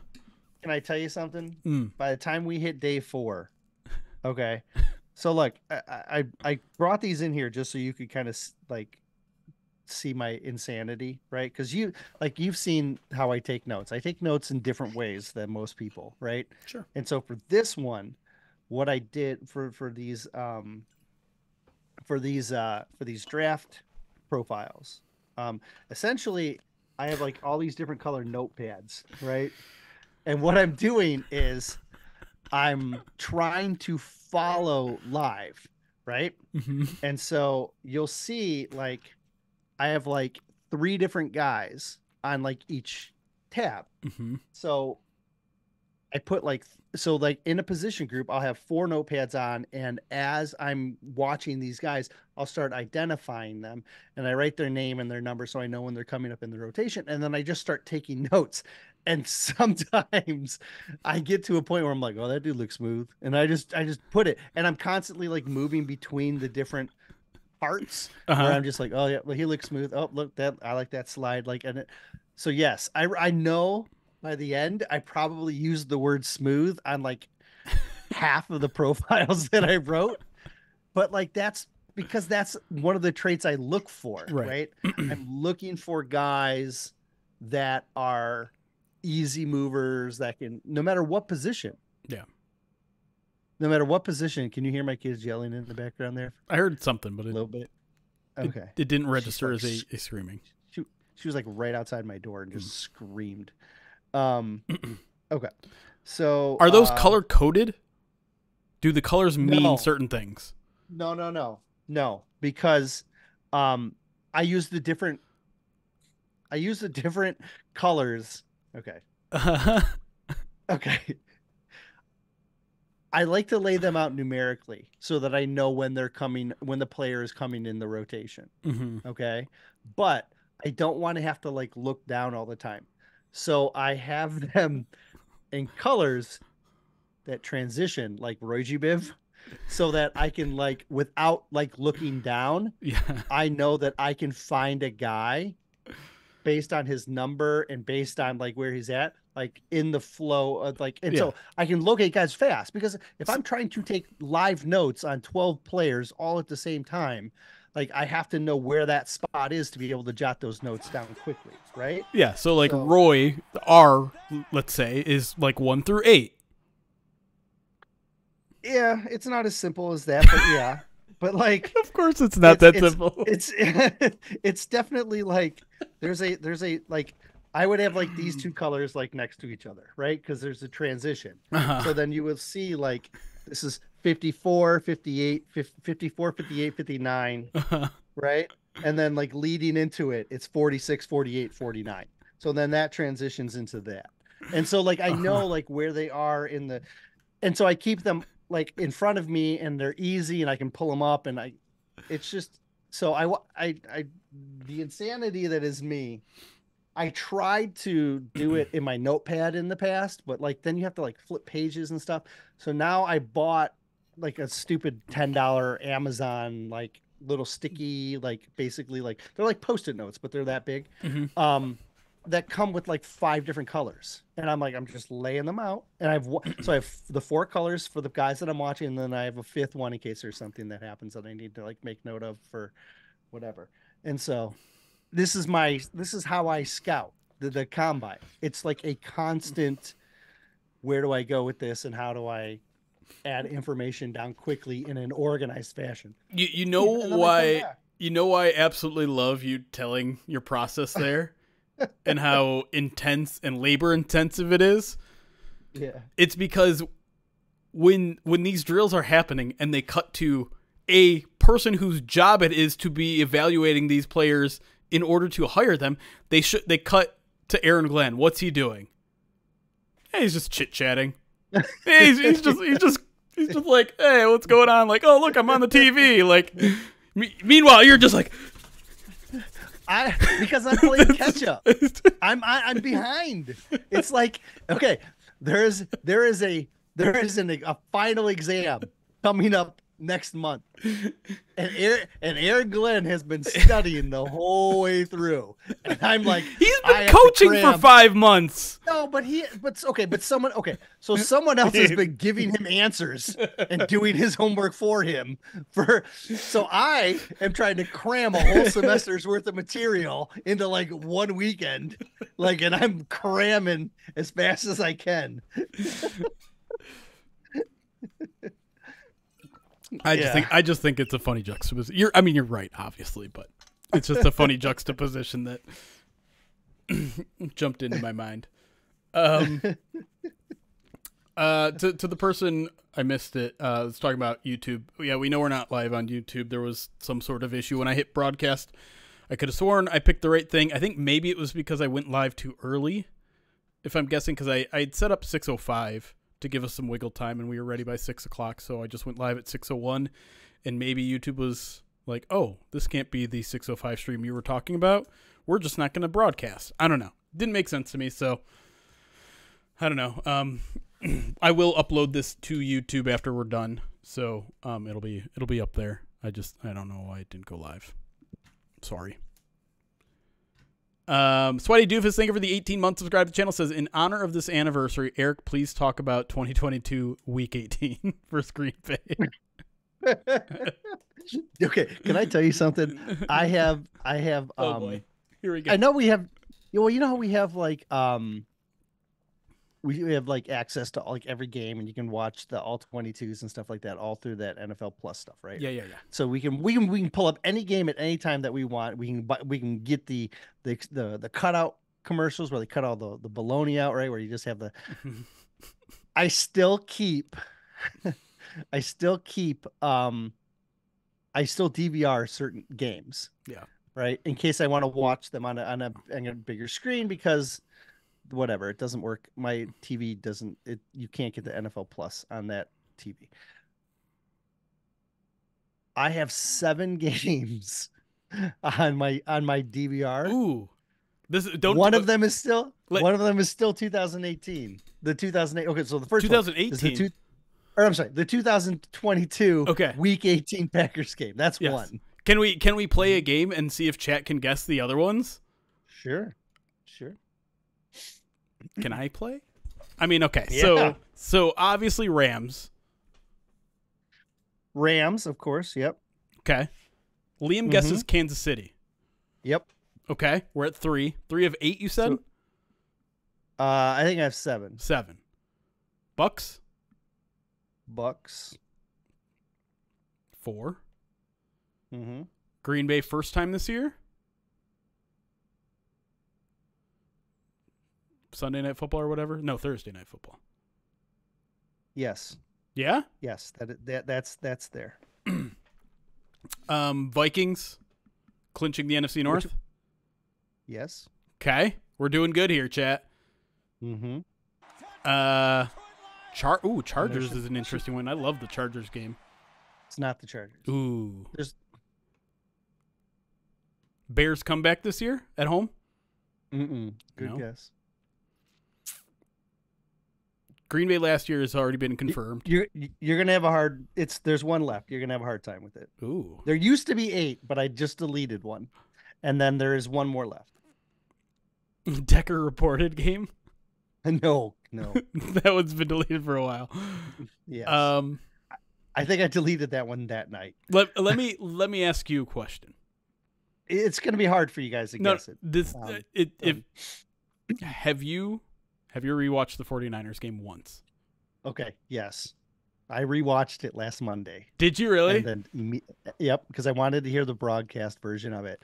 I didn't rewatch like the after it happened. I didn't rewatch it that that whole next week. I I, didn't want to see it. I had nothing to do. Nope. I still haven't rewatched it. So the Monday, but the, not this Monday, but the Monday before, I watched it uh start to finish with the broadcast because I wanted to hear what they had to say.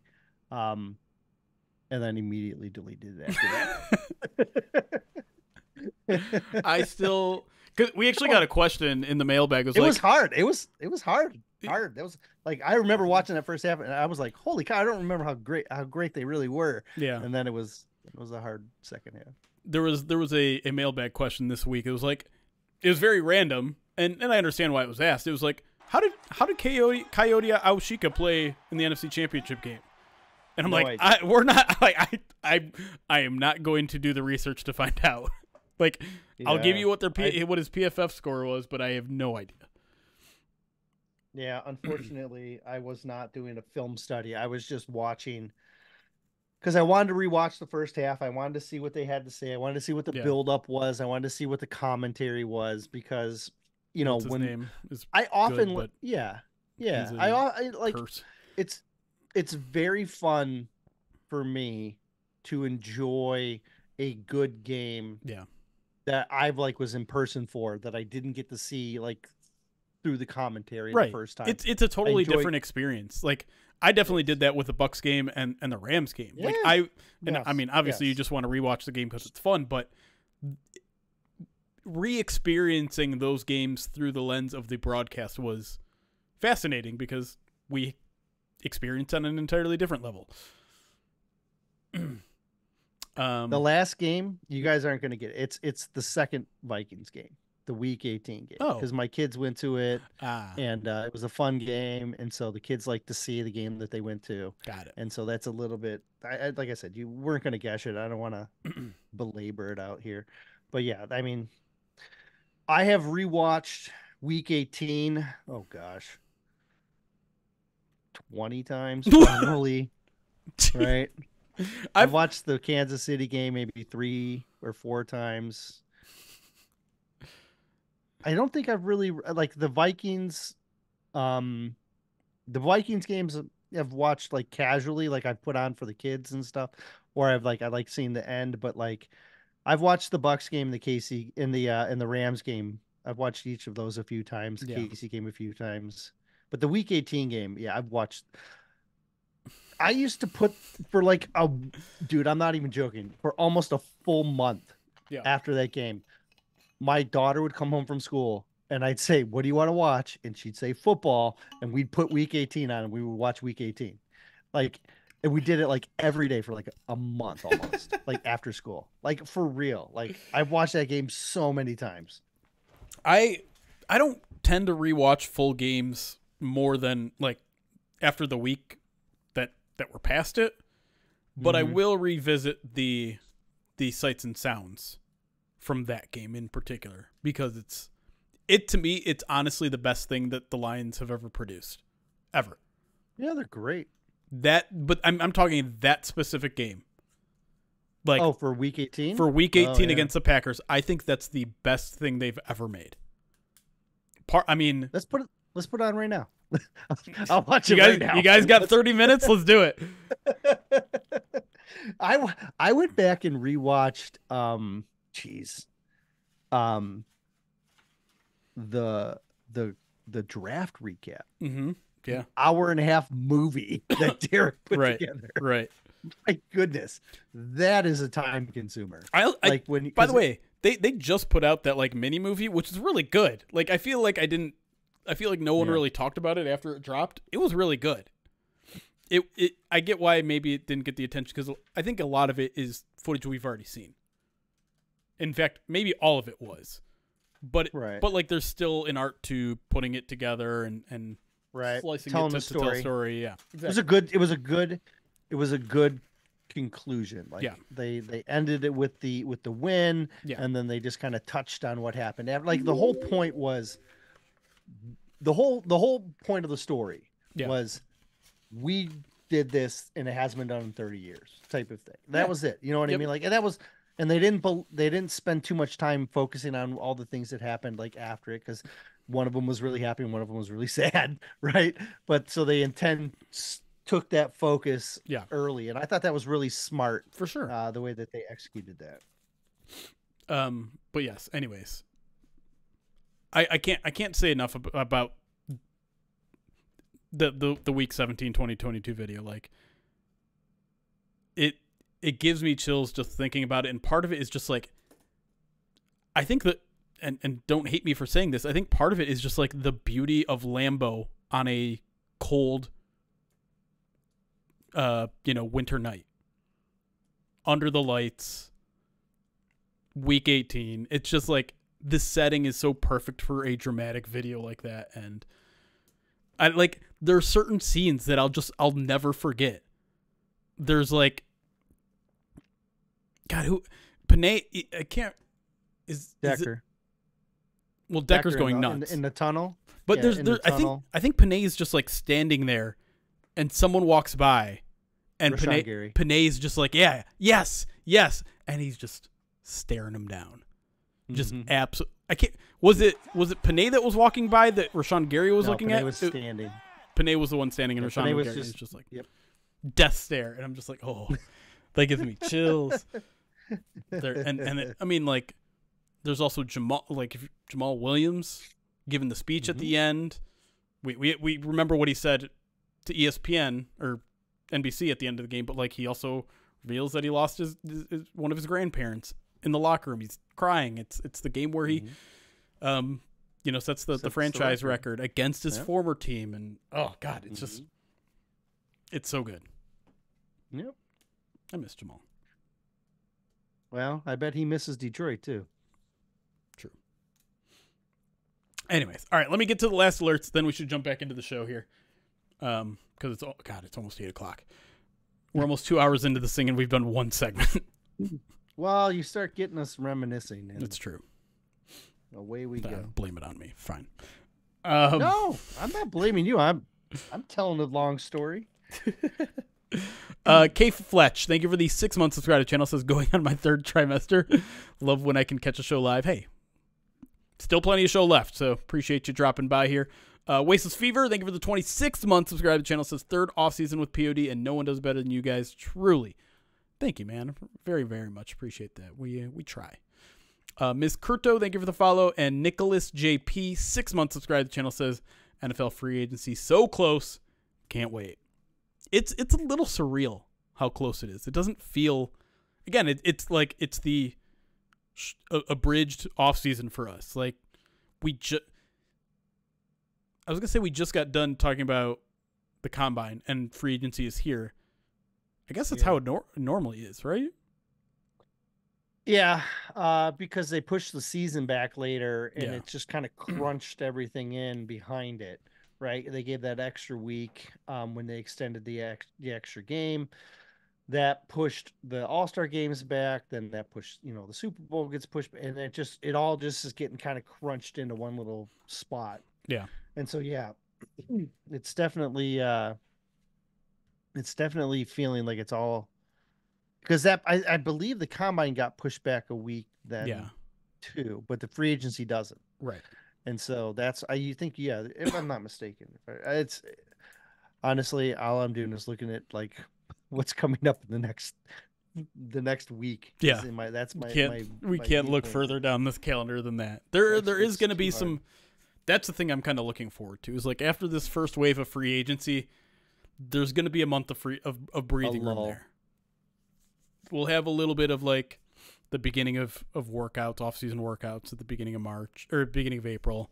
We'll have owners meetings at the end of March. Um, someone asked, I will be down there for those. Um, part of the reason why I'm going to be in Florida. Um, I'm going to be down there for a while, so streams are going to look a little different during that time because I won't have my home set up. So just be aware of that. Okay. All right. Ready to get back into it? Yeah, we better we won't finish. All right. Where did I leave off? We did that one. Is daylight savings time this weekend? Ugh.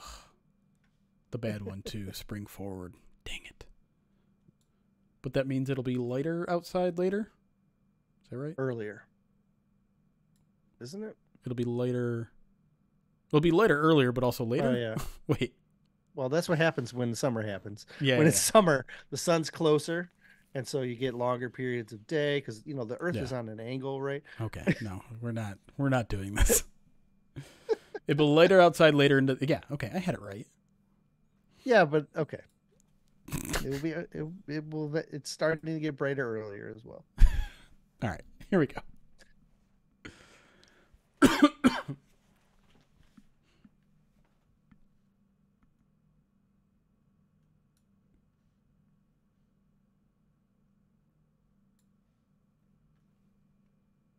And we are back here on the Midweek Mailbag podcast as we get ready for free agency and do a little bit of NFL Combine recap. And that's where we're going to start here in the second segment here. Uh, our next question comes from Costa at Gus the Greek on Twitter. Asks, after watching the Combine last weekend, I'm really loving this O-line and cornerback class. Why do I see so many Lions fans wanting to trade for guys like Lattimore or Sneed? You can have Darrelle Revis playing corner for us, and it really won't matter. Why aren't we talking more about signing guys like Christian Wilkins, Bryce Huff, Josh Uche, Van Ginkel? Isn't it more imperative to fix the pass rush first rather than giving up draft capital for big name corners? I do think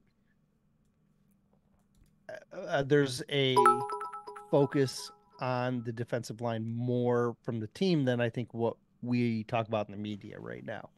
Um, my guess on their approach is that they're going to spend the money on the corners and maybe draft like those defensive linemen, right? Um, they've met with a couple defensive tackles, they've met with a couple edge rushers. Now they've met with corners as well, but um, you tend to get a better return on your uh, on your finances and your investment if you're getting the defensive linemen on those rookie deals as opposed to like a corner. And so it just a lot of and I think the value lands there as well. Like the at that spot that they're at, there's going to be some defensive linemen that that are going to be real valuable uh, that they that fit in with what they want to do. So whereas I think there's some more question marks about corners, even though there are really good corners that I that I like. The way we've talked about it all off season, adding a a veteran corner through free agency and then drafting a guy you can develop, that doesn't mean you have to develop that guy that you drafted 29. Like that 20, pick 29 can go to a defensive lineman. You can get a corner at a different spot. And so, if again, I'm Brad has fooled me in the past with what he does in the first round, but my guess is it seems like defensive line makes a lot of sense and you spend on the corner in, in, in free agency. Um, that's my gut today. Next week, may, maybe totally different. but Yeah. that's my gut today. No, I, I, I kind of, I go back and forth with this question because I do think we can't necessarily overvalue pass rush versus coverage one over the other. I know, I know this has been an ongoing debate in like the analytics community, like which one is more important, coverage or pass rush. You get a different answer from ten different people. I, I think the Lions could stand to improve both, but I think the reason why Lions fans and draft analysts and all have been pointing to corner over defensive line is the Lions just don't have playable players right now at corner. They just don't. Right. They they they have no depth there at all. We're not. They have Cameron Sutton and a whole bunch of names. That's it. At outside Well, I don't even know if it's a whole bunch, yeah. right? It, yeah, it's it's yeah, and a couple of names. Um, so they they really need to attack that hard.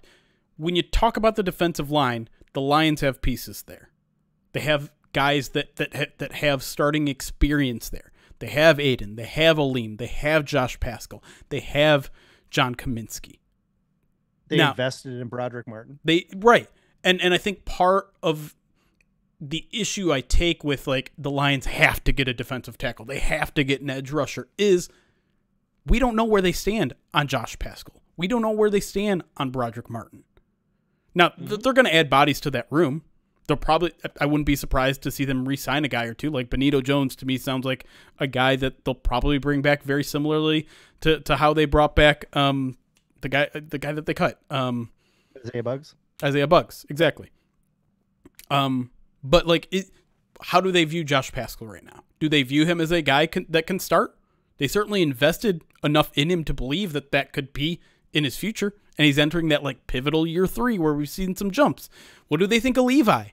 Is Levi a guy that they view as part of the rotation next year, or is, are they view him as a guy that could be cut in training camp? There's so many there, there, are bodies there but just a lot of unknowns from the outside. We don't know what they think of these players.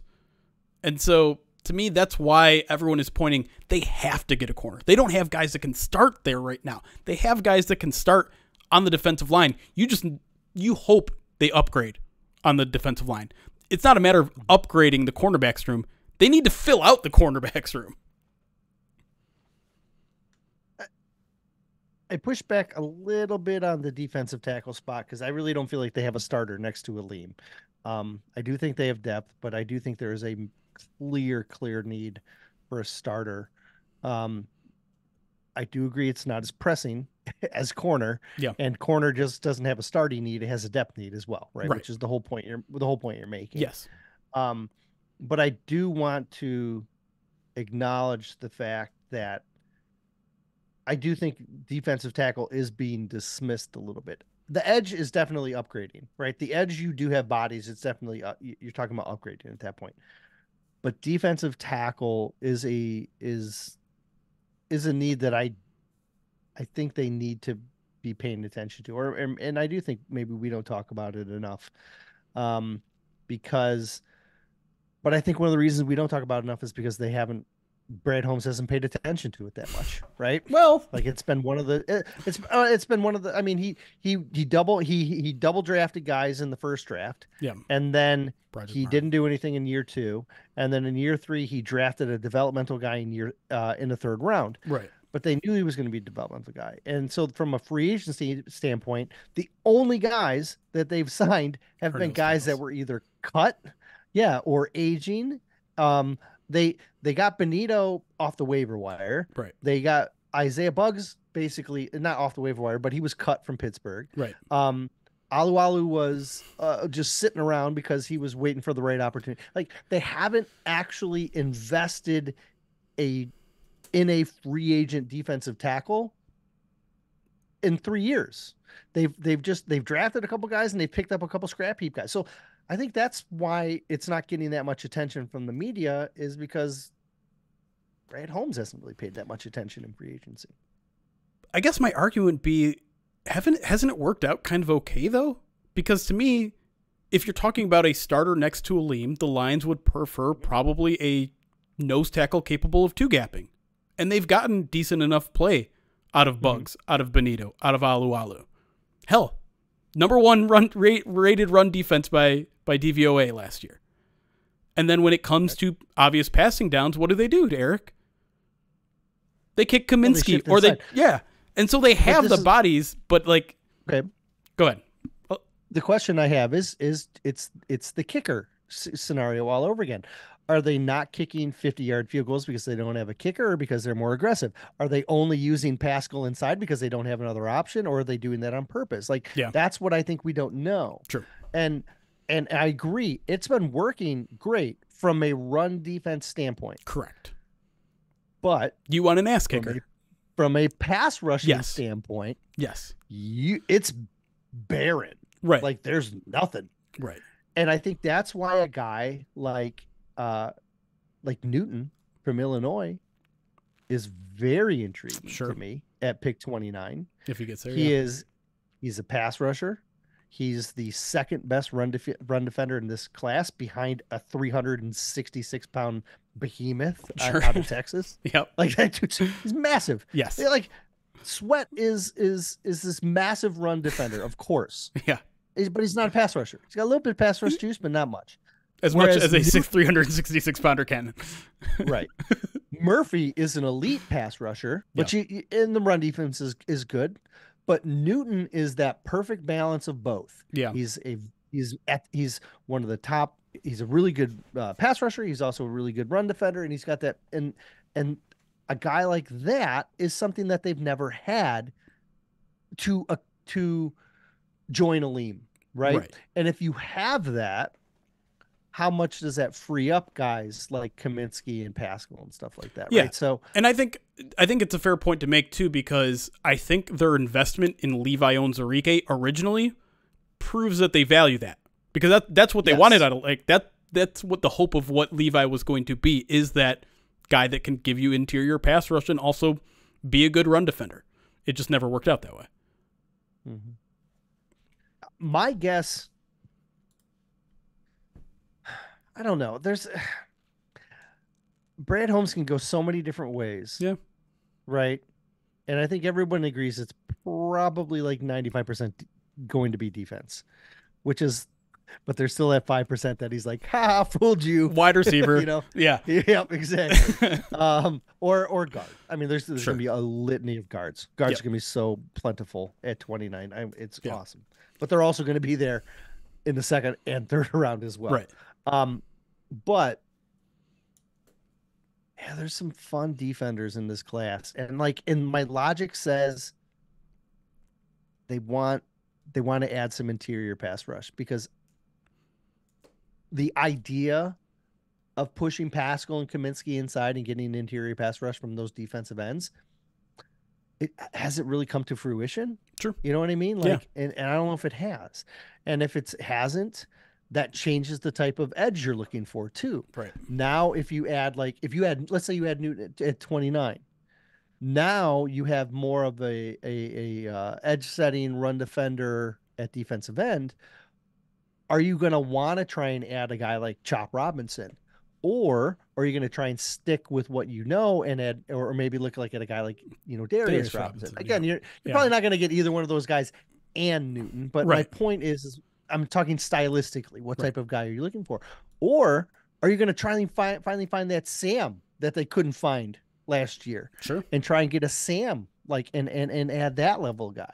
Like, because if they went Newton and then a, and then added a Sam in, in, in round two, like it wouldn't surprise me at all. So they can go a lot of different ways. The trick for us as projectors, they've changed their defensive scheme every sing- in the middle of every single season, right. and so we don't know which way they're going. Right. We don't know we if don't that's know out of necessity in the halfway of the season or if that's the trajectory of where they're going in the future. Exactly. So like we we're we have to end up naming all these guys and all these possibilities because we No one knows. who knows what they're going They to might not know. Oh, I oh. got a feeling they I got a feeling they know. but Maybe, but like, but at the same time, Brad Holmes' whole draft strategy is let's draft dudes and figure it out. And so part of it is like, I think if they just like this guy better than another guy, it's not, they're not doing it in mind of like, do we need a, a- a pass rushing phenom like a Chop Robinson or do we need an edge setter? Like, it's just, do we like Darius Robinson better or do we like Chop Robinson better? I don't know. It's, it's tricky. Um, but let's let's move on so we can move this well, conversation. well, well, hold on. okay, fine. Which of the Robinsons do you like more? Chop or Darius? I had a very long conversation about this on on yesterday's Oh, podcast. oh, all right, all right. but I, I'll, the, I'll go watch it. The short answer is part of me wants them to start adopting more of an emphasis on pass rush, and I think Chop Robinson is kind of has the potential, the elite traits to be an elite pass rusher, and so I'm kind of leaning that way. But if if you're asking me which one I think the Lions are going to like better, I think it's Darius. Okay. That's where I'm at. All right. All right. Uh, next question here. Thoughts from my couch asks which prospect is a realistic trade up target in round one, and who's a realistic prospect in a trade down scenario. Now, I think trade up is a little bit easier to identify here because we we have a better idea of who's going off the board early. The tricky part with the trade down is you, you have less of an idea who's going to be Who's there at 29. Yeah. So I tell you, if they're if they're trading up, it's probably for offensive line. You think so? Loaded in But- offensive line. But that isn't that a reason why to not trade up because you can wait and get a There's- dude. if you take if you take if you traded up for either uh Fuaga from Oregon State God, I love Fuaga. or uh or uh, uh Fautanu from uh Washington. Yep. Both of those guys are instant starters Yeah. at guard or tackle.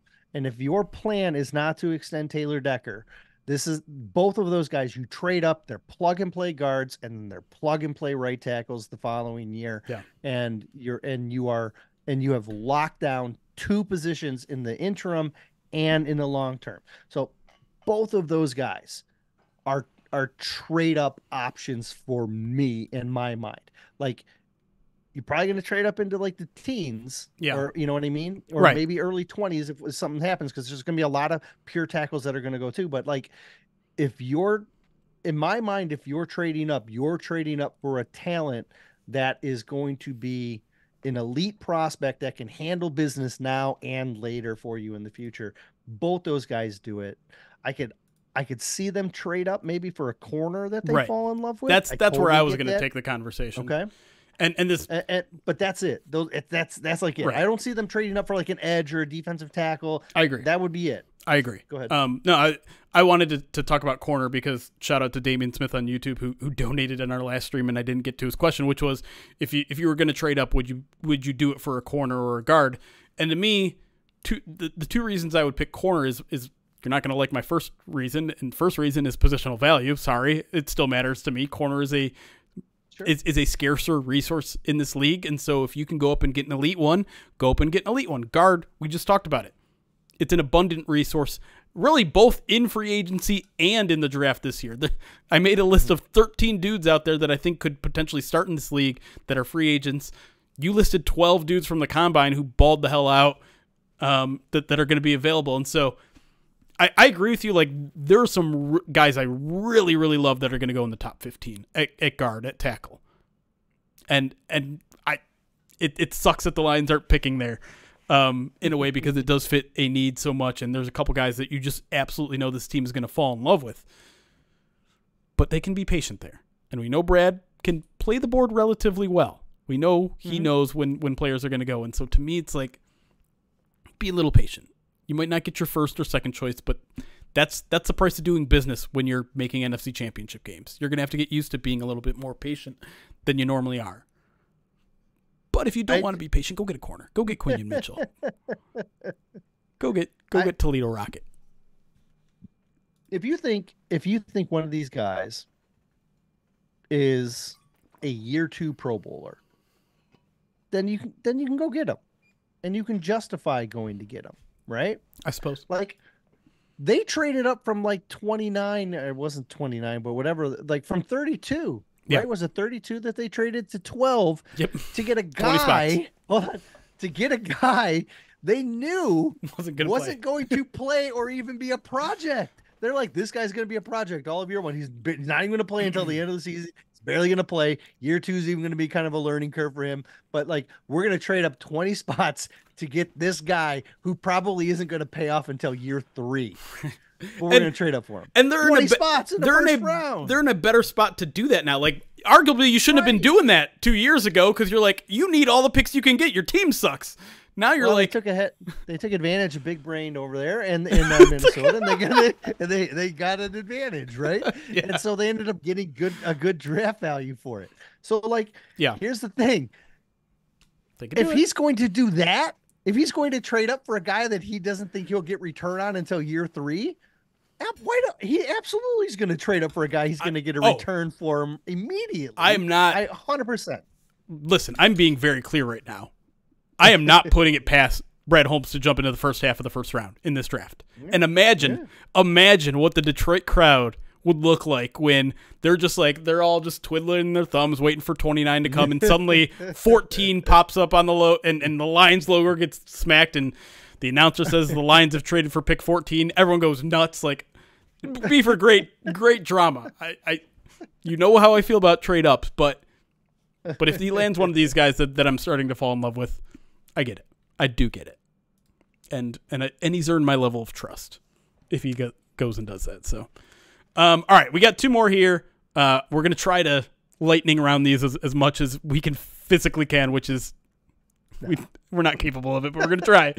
Uh, all lines go to heaven, aka at the Fox Magnet on Twitter asks Mahomes signed a 10 year deal. Could the Lions do something similar with their foundation pieces like St. Brown or Sewell? Why don't we see more longer extension deals, even like seven or eight years?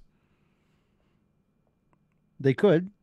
Um, you typically don't see it because of what you see happening with the salary cap, a growing at this abundant rate. You typically don't want the agents aren't going to want players to get locked in in a ever growing market like that.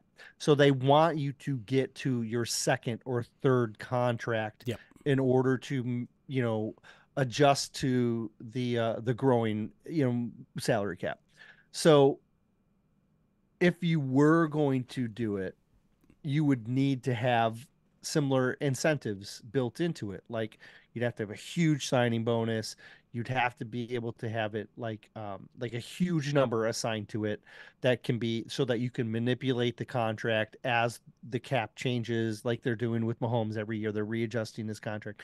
Um, so the so we don't see as many of those is because that's typically the strategy. Get these guys to second, third. Like if Sewell follows this path of like you know every couple of years or every like you know four or five years he could see like four contracts like big contracts like that's like an insane number i could also see them say look we want to make it you know you you we want to be creative with you and try and introduce something different like one of the things agents have pushed for in the past is um percentages like you make your base salary is a percentage of the cap Right. as opposed to like setting it at a number. Teams are more hesitant to get into that, right? Because they don't want that flexible. They want to know what they're we're walking into, you know, next year and the year down the road. Right. They don't want to, and so, so there's there's more hesitation from the team standpoint to add those incentives. There's less hesitation. There's more hesitation from the from the player standpoint because they don't want to get locked into this evolving market. Yeah, and then also from the team side in general, like Yeah. you you don't know what the future holds. Penei Sewell seems like he's going to be an amazing dude for the next decade, but injuries happen. Plans that the best laid plans go to waste, right? And so a team locking into a, a 10 year deal with a player and one catastrophic injury happens and you're stuck. And so, like, you did a good job, I think, detailing why players don't like it. I think that's probably one of the main reasons why teams aren't in a hurry to, to do that sort of thing. All right, we nailed that one quickly. Last one here, and I think this is a great question.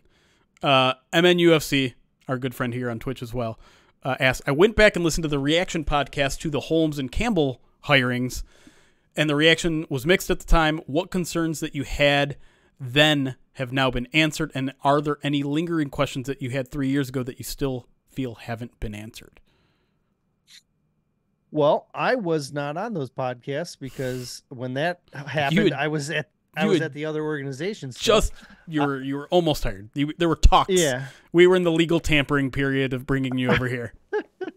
uh, yeah. I didn't make my way over until ooh, February, Something like like, mid February. So about a month after. Um, But yeah, I mean, let's let's talk about. Okay, Right. so like, what were your So you initial? tell me what your concerns Okay. were. Oh, go ahead. No, I, my initial concern with Campbell, I think I gave a very fair answer at the time. I'd have to go back and look to see if my memory is as it is, but I think my my main concern is like, all right, can he hire a good staff? Because I didn't like it was hard to read what his philosophy was. We we pretty much knew from the onset he probably wasn't going to be a play caller on either side of the ball. So how how can he do in surrounding himself for, with the staff? And I think very early he answered that question and saying like, oh yeah, he's pretty good at it. Like mm-hmm. I have expressed some doubts a little bit about the defensive staff recently and, and how much they've had to cycle through that, particularly in the secondary. But overall, I've been very impressed with his connections with I mean, we're already starting to talk about like Dan Campbell trees and things like that. And so with Dan Campbell, that was my primary concern. I think maybe a little bit of my tertiary tertiary or secondary concerns were well there's there's two more. One was I wasn't sure he was going to be modern enough in his approach. Little too leaning heavily on run game, which he has, but also into that I, I thought maybe he was just going to play conservative play style.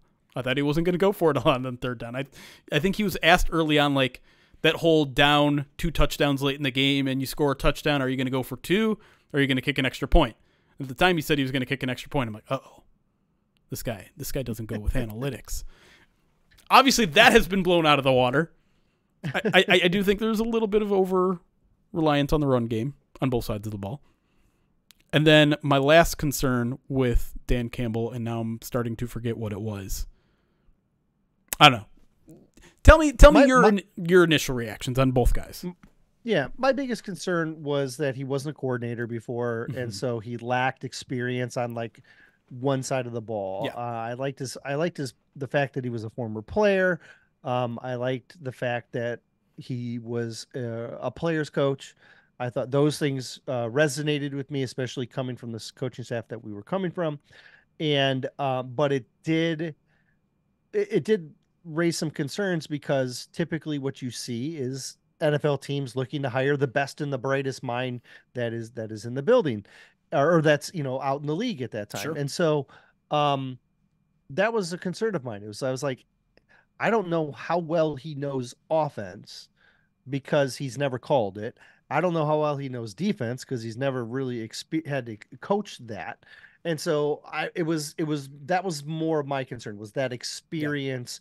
Uh little do I did I know like you know as you start digging in more you're like all right he's got connections and this and that but like I didn't I took for granted the fact that Bill Parcells was his mentor and like he he's been studying under Sean Payton for half a decade. You know what I mean? Like I didn't think about those things until after the fact. Right. Right.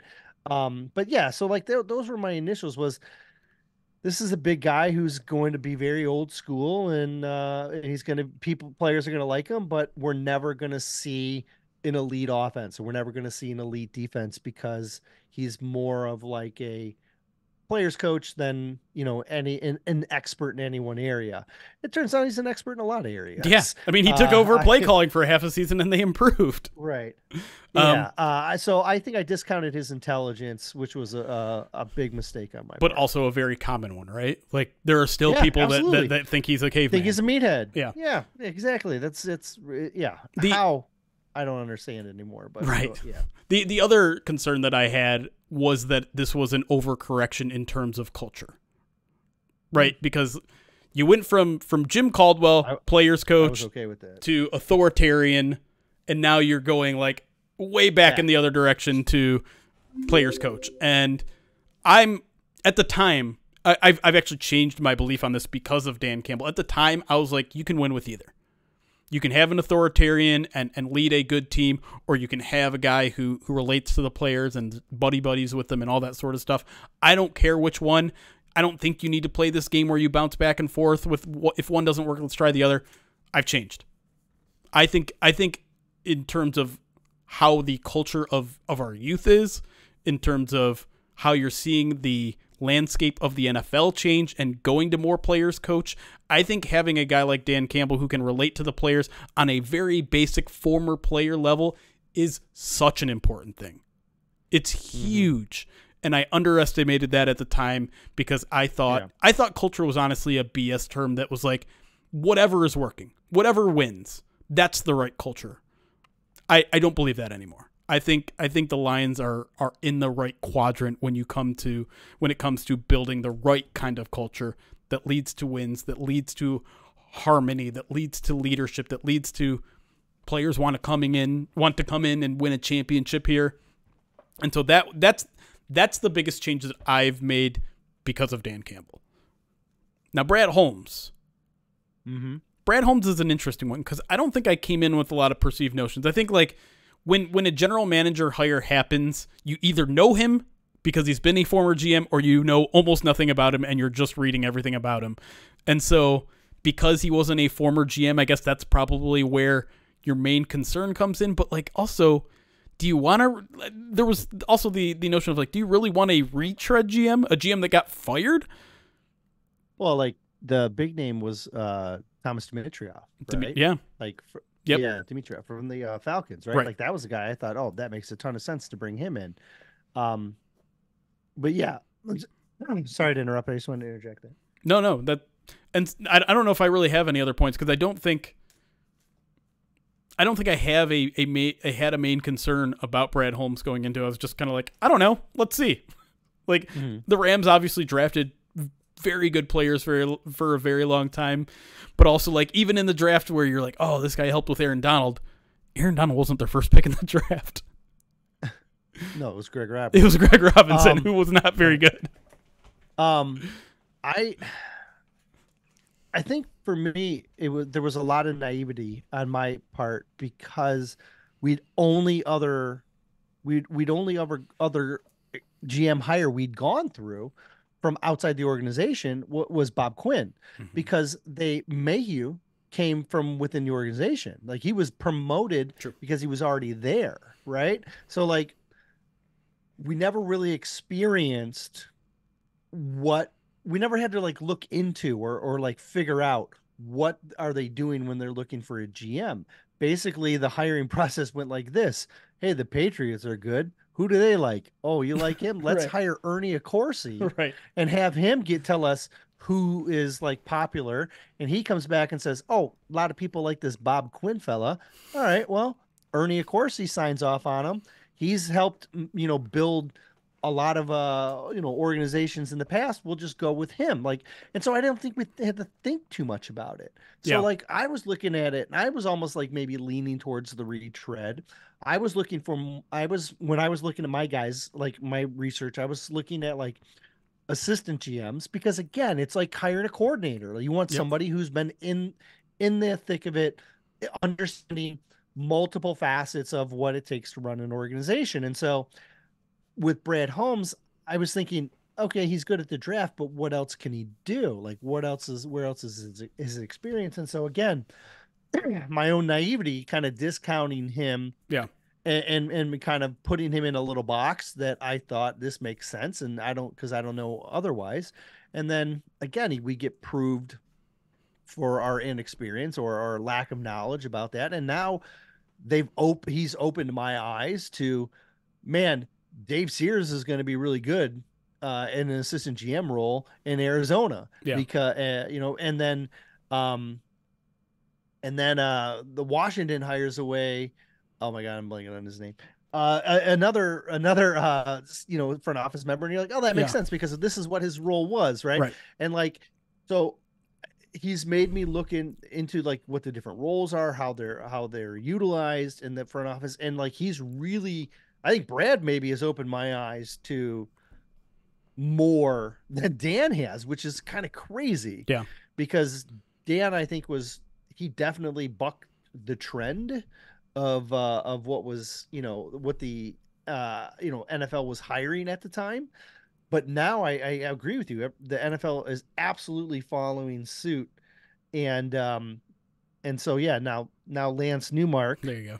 Is uh is going to do well in uh in Washington and I think like I understand what his role in Detroit was better and then because of that I understand how he'll have a better shot to help Washington elevate there like so Brad's experience forced me to look harder at what the front office does Yeah.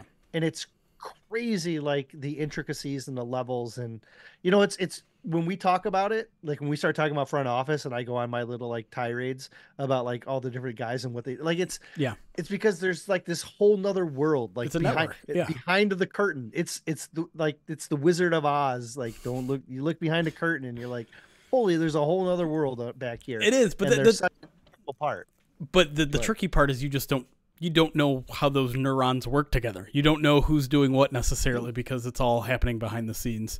Um, Well, it's it's listening and talking to people and Sure. you're you're you and you absolutely it's not in the it's not in front of you like Right. it is with Dan Campbell, Right. right? For, for sure. Yeah. But you learn how the crossover works Yeah. and you learn how like and so I I'm I'm fascinated by it. Yeah. I will say when I, I don't remember when this story got leaked to the media about Brad Holmes, but there's a story about how they how they found him, right?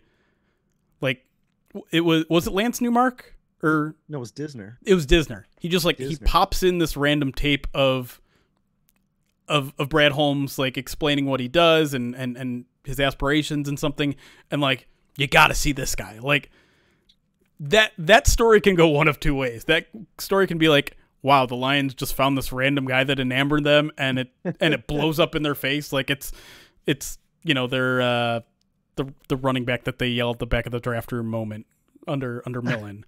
Why do I always forget Yeah. that guy's name? It could blow up like that, or it could be like this awesome story where like, wow, they they uncovered every stone and they found this diamond in the rough. And so when I heard that story, part of me was like, is this gonna be good? Like, is this a good story or is this a bad story? Um, Brian Calhoun, Well, there you go. Um, Well, I mean, look, it's not like Disner just pulled that name out of a hat. Like Right. somebody had to have handed it to him, right? Like, and, and there's there, right? So like, they were looking for a pool of people, and and that name came across Disner's desk, and Disner found something, and then that Yeah. the, the light bulb kind of switched on, right? And so that happens with players. That happened with Colby Sorsdal. true. Like that's how they ended up with Colby. Sure. When someone went, oh, look at this tape that nobody's looked at yet. Yeah. And they were like, oh, look, The- he's actually pretty good, right? The other thing I want to say though is like when when it comes to what questions have not been answered yet, I th- I think it's fair to say with Brad Holmes like it's fair to want a little bit more out of free agency. It's fair to, like in terms of the pro money, now that Yeah. he has money, is what can he do with it? Agreed. Can he yes. maintain a totally different roster? Like it's one Yes. thing to build a roster, but Yep. it's totally different to maintain it. Yes. So we've seen him. We've seen. Eh, look, if Brad Holmes wants, if if if if it doesn't work out in Detroit and he leaves, and he'll he can build another organization up from the ground. We know he can do that. Right. Can he maintain it? That That's the biggest challenge in front of him. Agreed. And and there's been there's been some minor swings and minor misses in free agency. There's been some minor swings and minor hits in free agency. Now now NFL. now becomes it's the, the the trickiest part where you have to maintain, you have to continue to get better, and at some point you're probably going to take a big swing or two, a, a, a significant swing or two. We know there's there's a little bit of Les Snead in him, where he's not necessarily going to say f them picks, but he's not going to stray too far from that either. At some point, he's going to see a guy out there that he knows that he really really likes in free agency or via trade, and he's going to go get him. And it's hitting on those that are that's going to elevate this team from Super Bowl contender to Super Bowl winner. It's a. It's just a totally different approach, right? Because he's going to miss.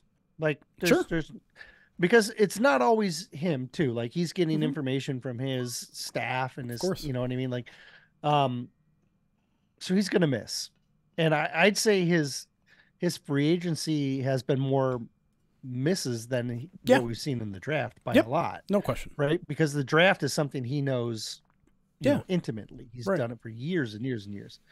Um, so there's he's gonna miss Of course. the the I think the strategy that he has though is I'm not going to invest too big because if I miss, I don't want it to cripple me. Of course. And that's why I think we've seen these more subdued contracts with him whereas the last couple of GMs they've been like here's a bag, come play for us. Right. You know what I mean? Yep. I don't think Brad has to do that anymore. Like he's he can he can give a bag to the guys that he knows are gonna that are homegrown that he picked. Like if he picked the guy in the draft and they're working out, he knows they're working out. He knows they're good. He give them the bag. Yeah. And and then He, I mean, he's basically spelled all of this out. Like Yes, he's he's said it to us. That is his Yes. strategy.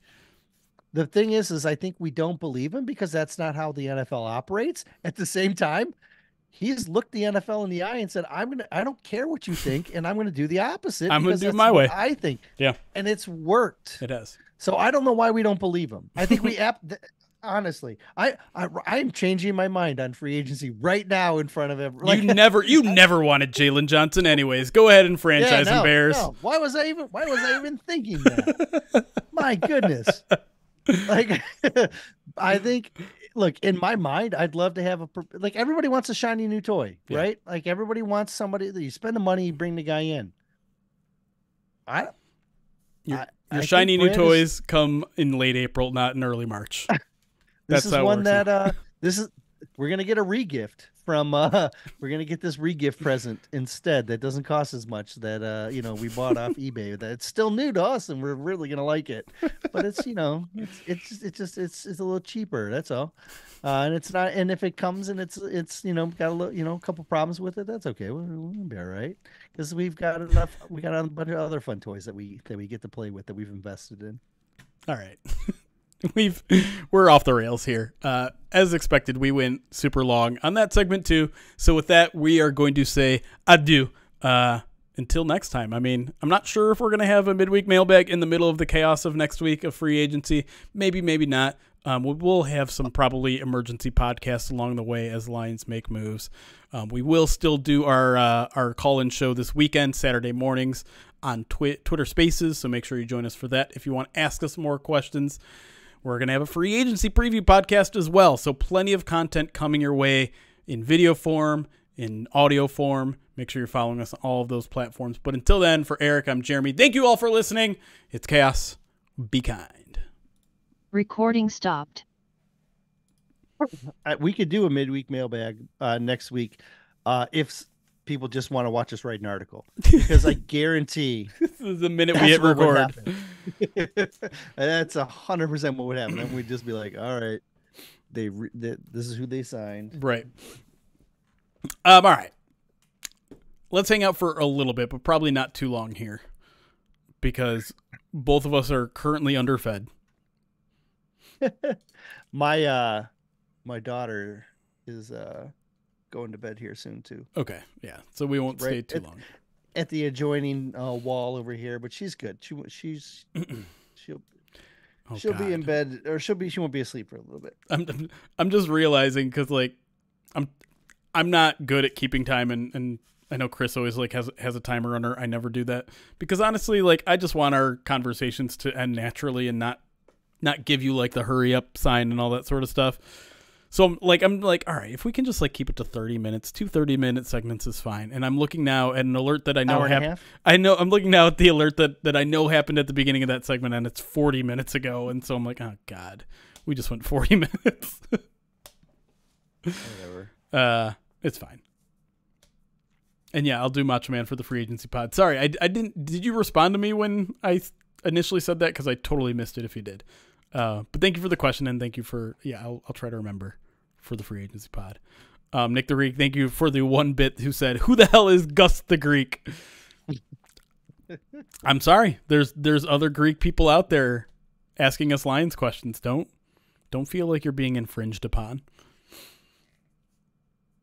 Um, Woodchuck Hunter 100 bits says Erik, the sun is actually farther away during the summer, but the tilt of the Earth axis means the northern hemisphere gets more direct sunlight and more daylight. Going back to a conversation we had. and Brad's home. Thank you for the follow. I like, I like the name. You moved the S. Um, to avoid giving up draft capital in any potential trade trade ups, are there any potential trade candidates on the roster? Ooh, I haven't even thought about that. I know someone threw out Derrick Barnes. I think it was uh, I think it was Ledyard in the uh, in the newsletter today. I think he threw out. I don't, but I don't think I like that.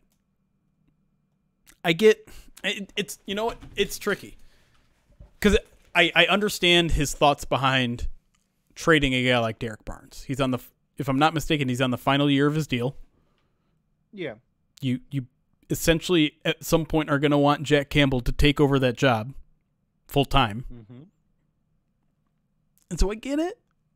But it's also a talented guy that you could probably re-sign for relatively cheap. I don't think I don't think Derrick Barnes has like earned a eight million a year contract. I don't know. That's a tricky one. I don't see a piece that's valuable enough that I'd also be willing to part with it. Only way I would consider like a John Cominsky is if they're changing like their defensive front scheme. Yeah. Other than that, and like and he has that contract, but beyond Cominsky, I think they need the guys that they have, and they have the guys in place that they want. Um, Right. I don't. I don't think there's really. I don't think anybody would trade.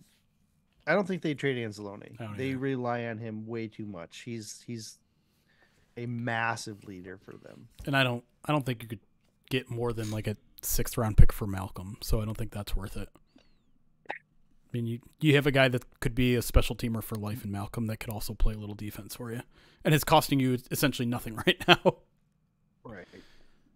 So Derrick Barnes to me is like the only tradable piece, and I don't,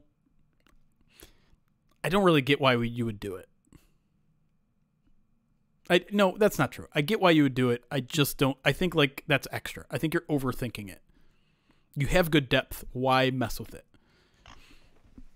Yeah, they're in the process of like trying to add more substantialness to the roster. I don't, Right, I don't think I don't think there's like there's not there's not anybody who's like again the only contract that is a little bloated is Cominsky Right. and I don't think you'd get any kind of return that you'd want from him. He's not going like the the trade value you'd get for him wouldn't be like a pivotal a pivotal um yeah, I added some A's in there. Um. I or like it. B. Yeah, a B in there as well. Um It's not like you're trading up from from 29 to 12 just because you throw in a Derrick Barnes or a Cominsky Right. or both. Yeah, you're you're not- talking day you know- three picks, if that, for any of those guys. um, Dark Dark I don't Elf, think the re- careful. I don't think the returns were. careful. I don't know if you were here yesterday for my my rant on the the stupid JMO talk that stemmed from one Chiefs Twitter account, but I don't want to get into it again. You saw that, right, Erik? Um, I saw some weird like rumor, or I saw I saw some people commenting Yes. about trading. So I assume you're talking about uh, the Chiefs were someone suggested trading for JMO or something. Yeah, it's Sneed like a, a Sneed for JMO straight up. It was one. It was. I said I wasn't going to get deal. into it, and now I'm getting into it. Well, I, I'll get into it. Here's this. It's the same. It's the same concept with uh trading Hendon Hooker. It's this.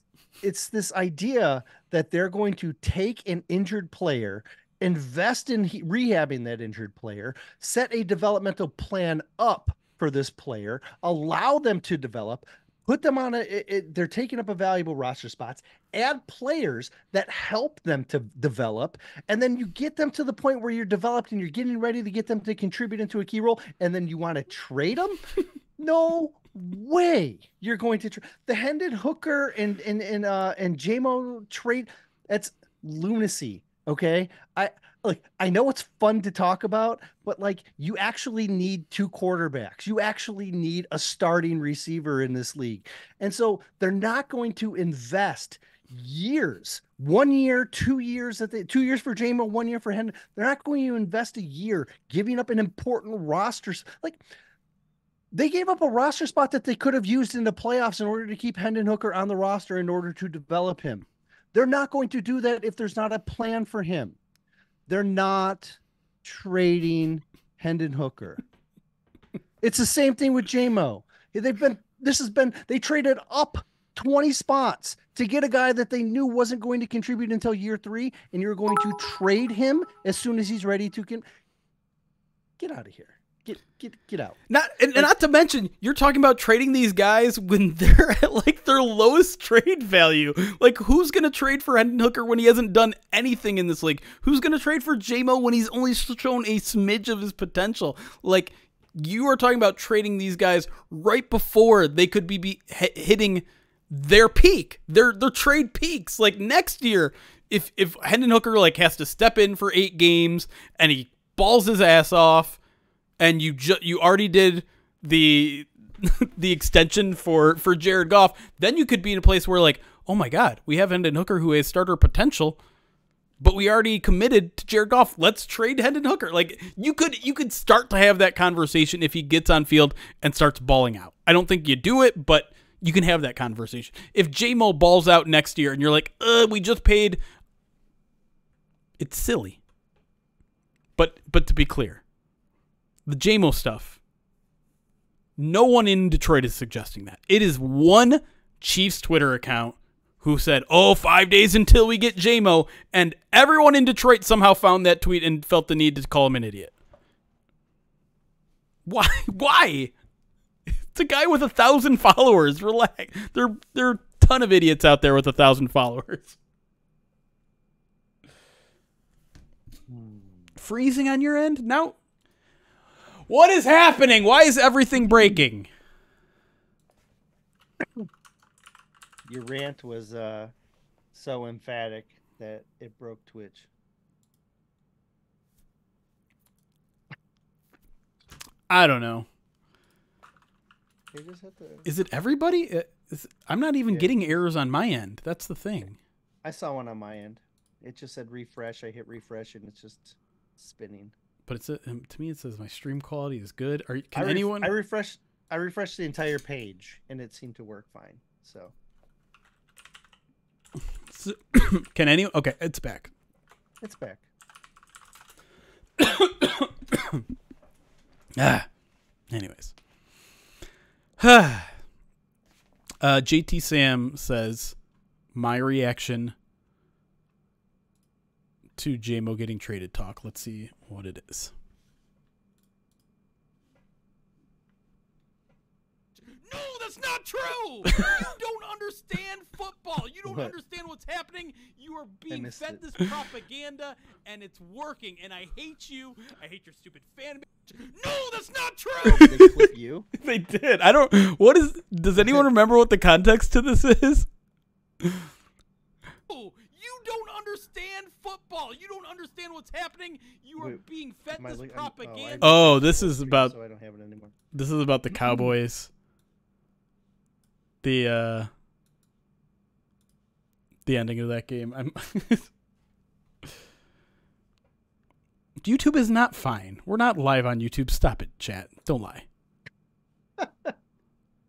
if we were live on YouTube now, I'd be livid. now now you're making me I'm not going to rant again. The the rant it was the same rant I said yesterday, which is everyone decided the need to pile on the one Chiefs account that suggested this trade. This guy with one uh, a thousand followers, everyone he tweets this one thing and everyone gets all in a ruckus and And, like I guess my frustration is like sometimes one tweet like that, it'll become it'll spread like wildfire, and then like all you know these YouTubers will start talking about it. People on Twitter will start talking about it. Some people might even start writing about it, and it's just like this isn't a real rumor or discussion. It's one person's opinion, and 80 million people already dunked on him on Twitter. We don't need to have this discussion.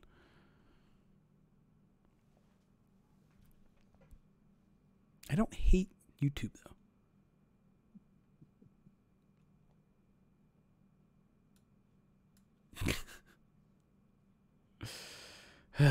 Anyways, I'm out of breath.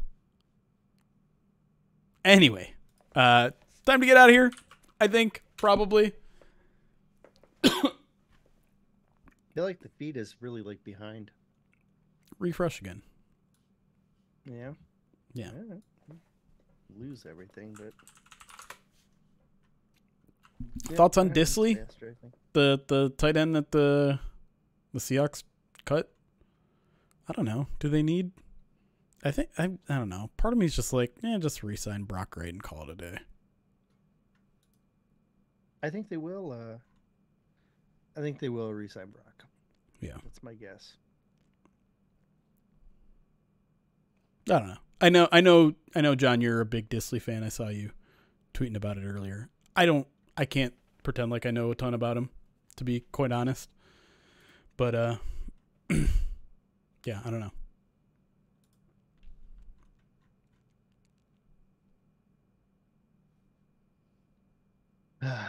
What? I'm so you know we all have like these unconscious biases, right? It's just a Mhm. natural thing. Sure. Um, Phoenix Knight asks about Gran, John Green, uh, Greenyard. Greenard. Mm-hmm. Uh, he played at Florida. Mm-hmm. I have an unconscious bias towards Florida players For or I just- against? against. Like I just, Teez just- Tabor, I never Jarrad. Davis. I I don't know why it is. I try, I try to take the helmet off. I just never really end up like look, I loved it. like yeah. Um when Al, Al when Anzalone and Jarrad Davis were both there together, like that was a good team. Like I liked but like I don't know if it was like the Lions needed a corner one year and they had a and they had a corner that was highly rated and I hated them.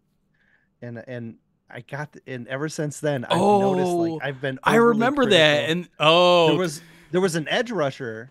There was an edge rusher too that I um, Nah, didn't see- like, and then I and I made a mistake when talking about him. that's where yes. I misspoke. That was the edge rusher. Yep. Okay. Um, the I left out a word.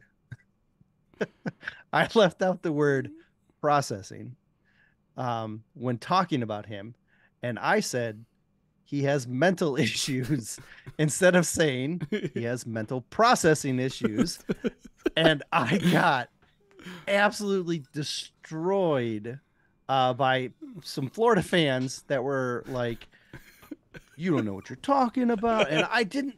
I didn't mean he had mental health problem, but like I said it and I I left the word out, so like I'm I'm taking responsibility. I did not. That's not what I meant. I went on the next week and apologized and said that's not what I meant. Like that, I meant he has processing issues, and he did. He terrible. He had terrible processing, but I misspoke, and uh, yeah, I caught a lot of heat for that. that I was, I uh, remember that. that was I re- that was that was And- pre and he- Pride of you know Detroit days, right? Yeah, and he um and he was like they every- he had like first round hype and everybody was in love and I'm like I don't like him I don't like him at all. I don't think he processes anything. And what happened? He ended up going on like day 4 and then busted and never he played didn't even finish his rookie year. Um but oh yeah, that was a huge error on my part. And again, I think it's the subconscious bias I have for Florida. I- Maybe it's just Florida defenders, but Maybe. like oh god. I really have to be like so when I'm watching Florida guys, I really have to like check myself. I do the same thing when I watch Michigan guys. I'm oh, I try to be overly critical on Michigan guys so that I'm not called a homer, which is happens anyways, no matter what I do. Well, But, I mean, like, when you're writing about the cornerbacks and you have 500 words on Mike Sainristil and like I 200 on everyone else, so much- it doesn't so help your case. I can't help it. Um, I can't help it. That guy has every. He's. I love him as much as I loved Brian, Brian Branch. Branch. I knew you were going to say that, yeah. much as much as I because I I never stopped talking about either of those guys. Like I have to stop. It was I hated Vernon Hargreaves. That was the corner that I absolutely hated. And then uh yeah, and then the edge rusher I was terrible. Ugh, God. We we have these bad. scars where like it's it's not It so a much huge. It was a big mistake. right. It's not so much like missing on a prediction, right? Like to me that that's part of the business. You, you're gonna miss on predictions. That's fine. But like when you make a reporting mistake, or to me those are the ones that really really stick with you. Like there's one that I I still I, I can't remember the specifics of it because I don't remember the people involved, but like I made an assumption based on an interaction, like a mic'd up interaction that we only saw a clip of, and I wrote a whole story about it. And the guy that I wrote it about, it was I think it was someone talking to Stafford, and and he said something, and I took it as one thing, and I ran with it. I ran an entire story about it, and the guy was like, "You don't know what you're talking about. That's not what we were talking about." Like he he Mm. posterized us on Twitter. This must have happened like six seven years ago and I still remember it and I'm still embarrassed by it. And it's like those things are going to happen, but when you make a, a mis- mistake like this, it, it's the thing that I always have to remind myself of why, like, when there's a breaking story or when there's any sort of uncertainty about a story or when, you know, when, when Jerry Jacobs tweets out something that is certainly sounds like he's not returning, but you aren't entirely sure, you got to be extremely careful because you make one mistake in this business and and you'll you will lose people permanently. Permanently. Credibility is as, as they say like it's it's an easy thing to lose it's a hard thing to gain. Y- you you make one mistake and it's over with some people. And understandably so like my job is to be a reporter. It is to be accurate. If i mess up people won't trust you especially in this age, right? Where no one believes anything anymore. Mm. And so like I this is why like when the, whenever there's anything that's just like I'm not sure yet, I, I I understand that this is almost certainly how you should interpret this news. I mean, you we have conversations like this all the time in our Slack of like, can we run with Yep. this yet? Yep. I'm not sure. It's Right. it's it's hard. It's a hard business. And and I know sometimes if we jump the gun and we're the first out there, we're gonna get more clicks. I know if we throw a big like just rumor at the front of a title and and publish it, we'll get more clicks. But sometimes it's not worth it. Um. It was Jachai Polite. That was Oh, that's right. That's right. Oh my god, that name. Holy cow. Uh, I I did not like his game at all. Um, man, I am uh I'm looking at that quote in there uh, and from uh Was did someone leave it in your Florida.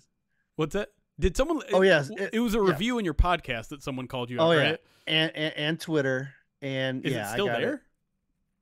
In the Oh, in I'm the sure. podcast reviews? I'm sure. Hmm. Sure. If you're ever bored. That um confused sports radio call-in show, that's a great quote from a very underrated movie that I am blanking on the name of. You suddenly- confused radio spall, uh, call-in show. You said the Gators fans don't have the guts to call in. What, Oh, what's yeah. your point? I'm a That was with I- Tim Allen is the is the lead, but it's got like Rene Russo Oh, and it's, it's- got like uh, yes. Oh my god. yeah, it's got like a It's It's a- Patrick it's a- Warburton is a cop in that movie. Janeane Garofalo's in that movie. yeah. She's the other cop. Yep. That's a really underrated movie. What is that Um, called? um uh Heavy D. is in that Yep. movie. That's a diamond in the rough movie, and So- I don't Sofia like Tim Vergara is in that movie. Oh my god, Um, is she? Yeah, Sofia Vergara is is the nanny. Um, Oh sh. and uh Johnny Knoxville wasn't Johnny Knoxville yep. in that movie too? Yep. Um, God, what is that Yeah. movie? I don't know. I want to. Someone in chat, you got to know this. Obviously, Jay Liv knows whoever- it. Yeah, right. Jachai Polite was terrible. I said it. I didn't. I I was very critical of him, and I was right, except for my one sentence. Is wait, who's like the hippie dude? Big Trouble. That's it.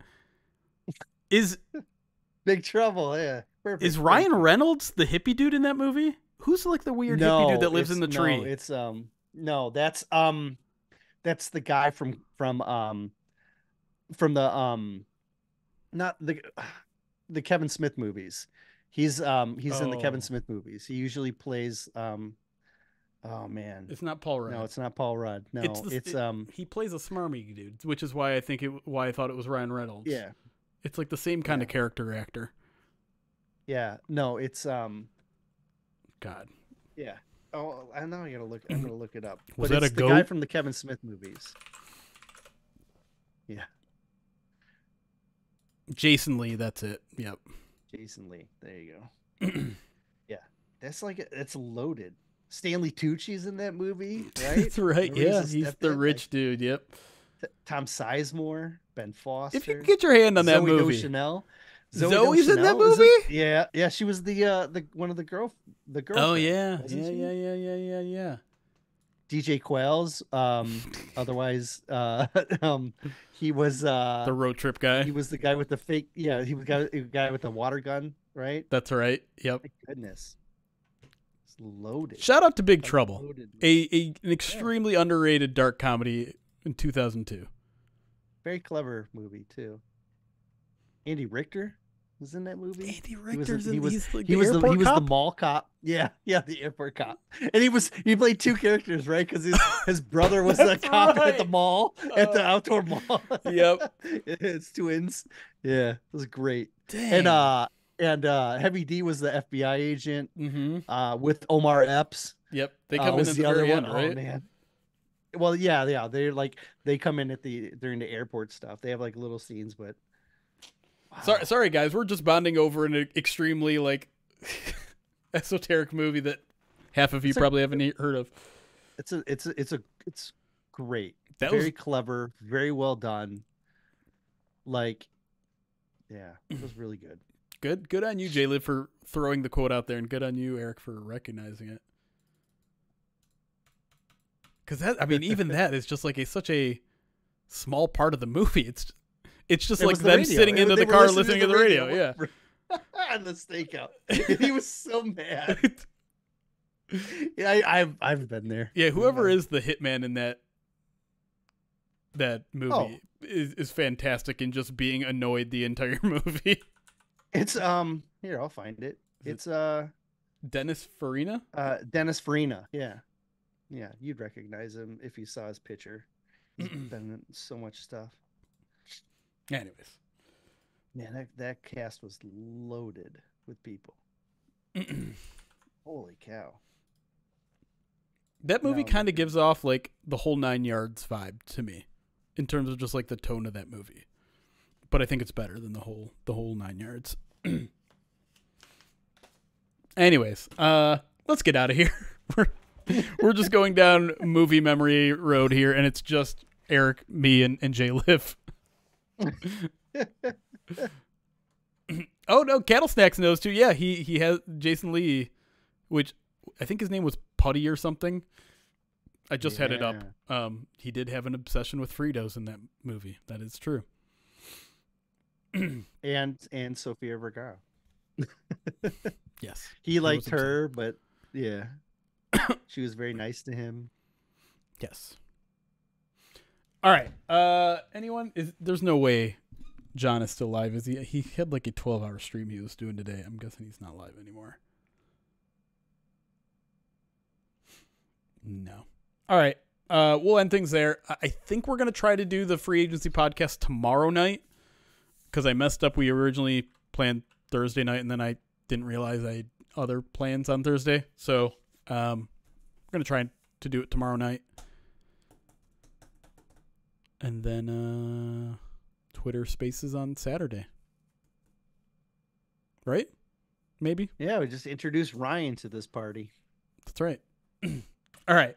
Uh, we're getting out here. Uh, if you missed any of this, I am going to try to upload it to YouTube tonight because we didn't broadcast on YouTube. So if you're a YouTuber uh, and you missed any part of the show, we'll, we'll upload it there, or you can watch it here, or it should be on the podcast either tomorrow or the day after. I'm not sure if Chris is going to um, string it out here. But, uh, anyways, appreciate you guys joining us. We'll see you soon.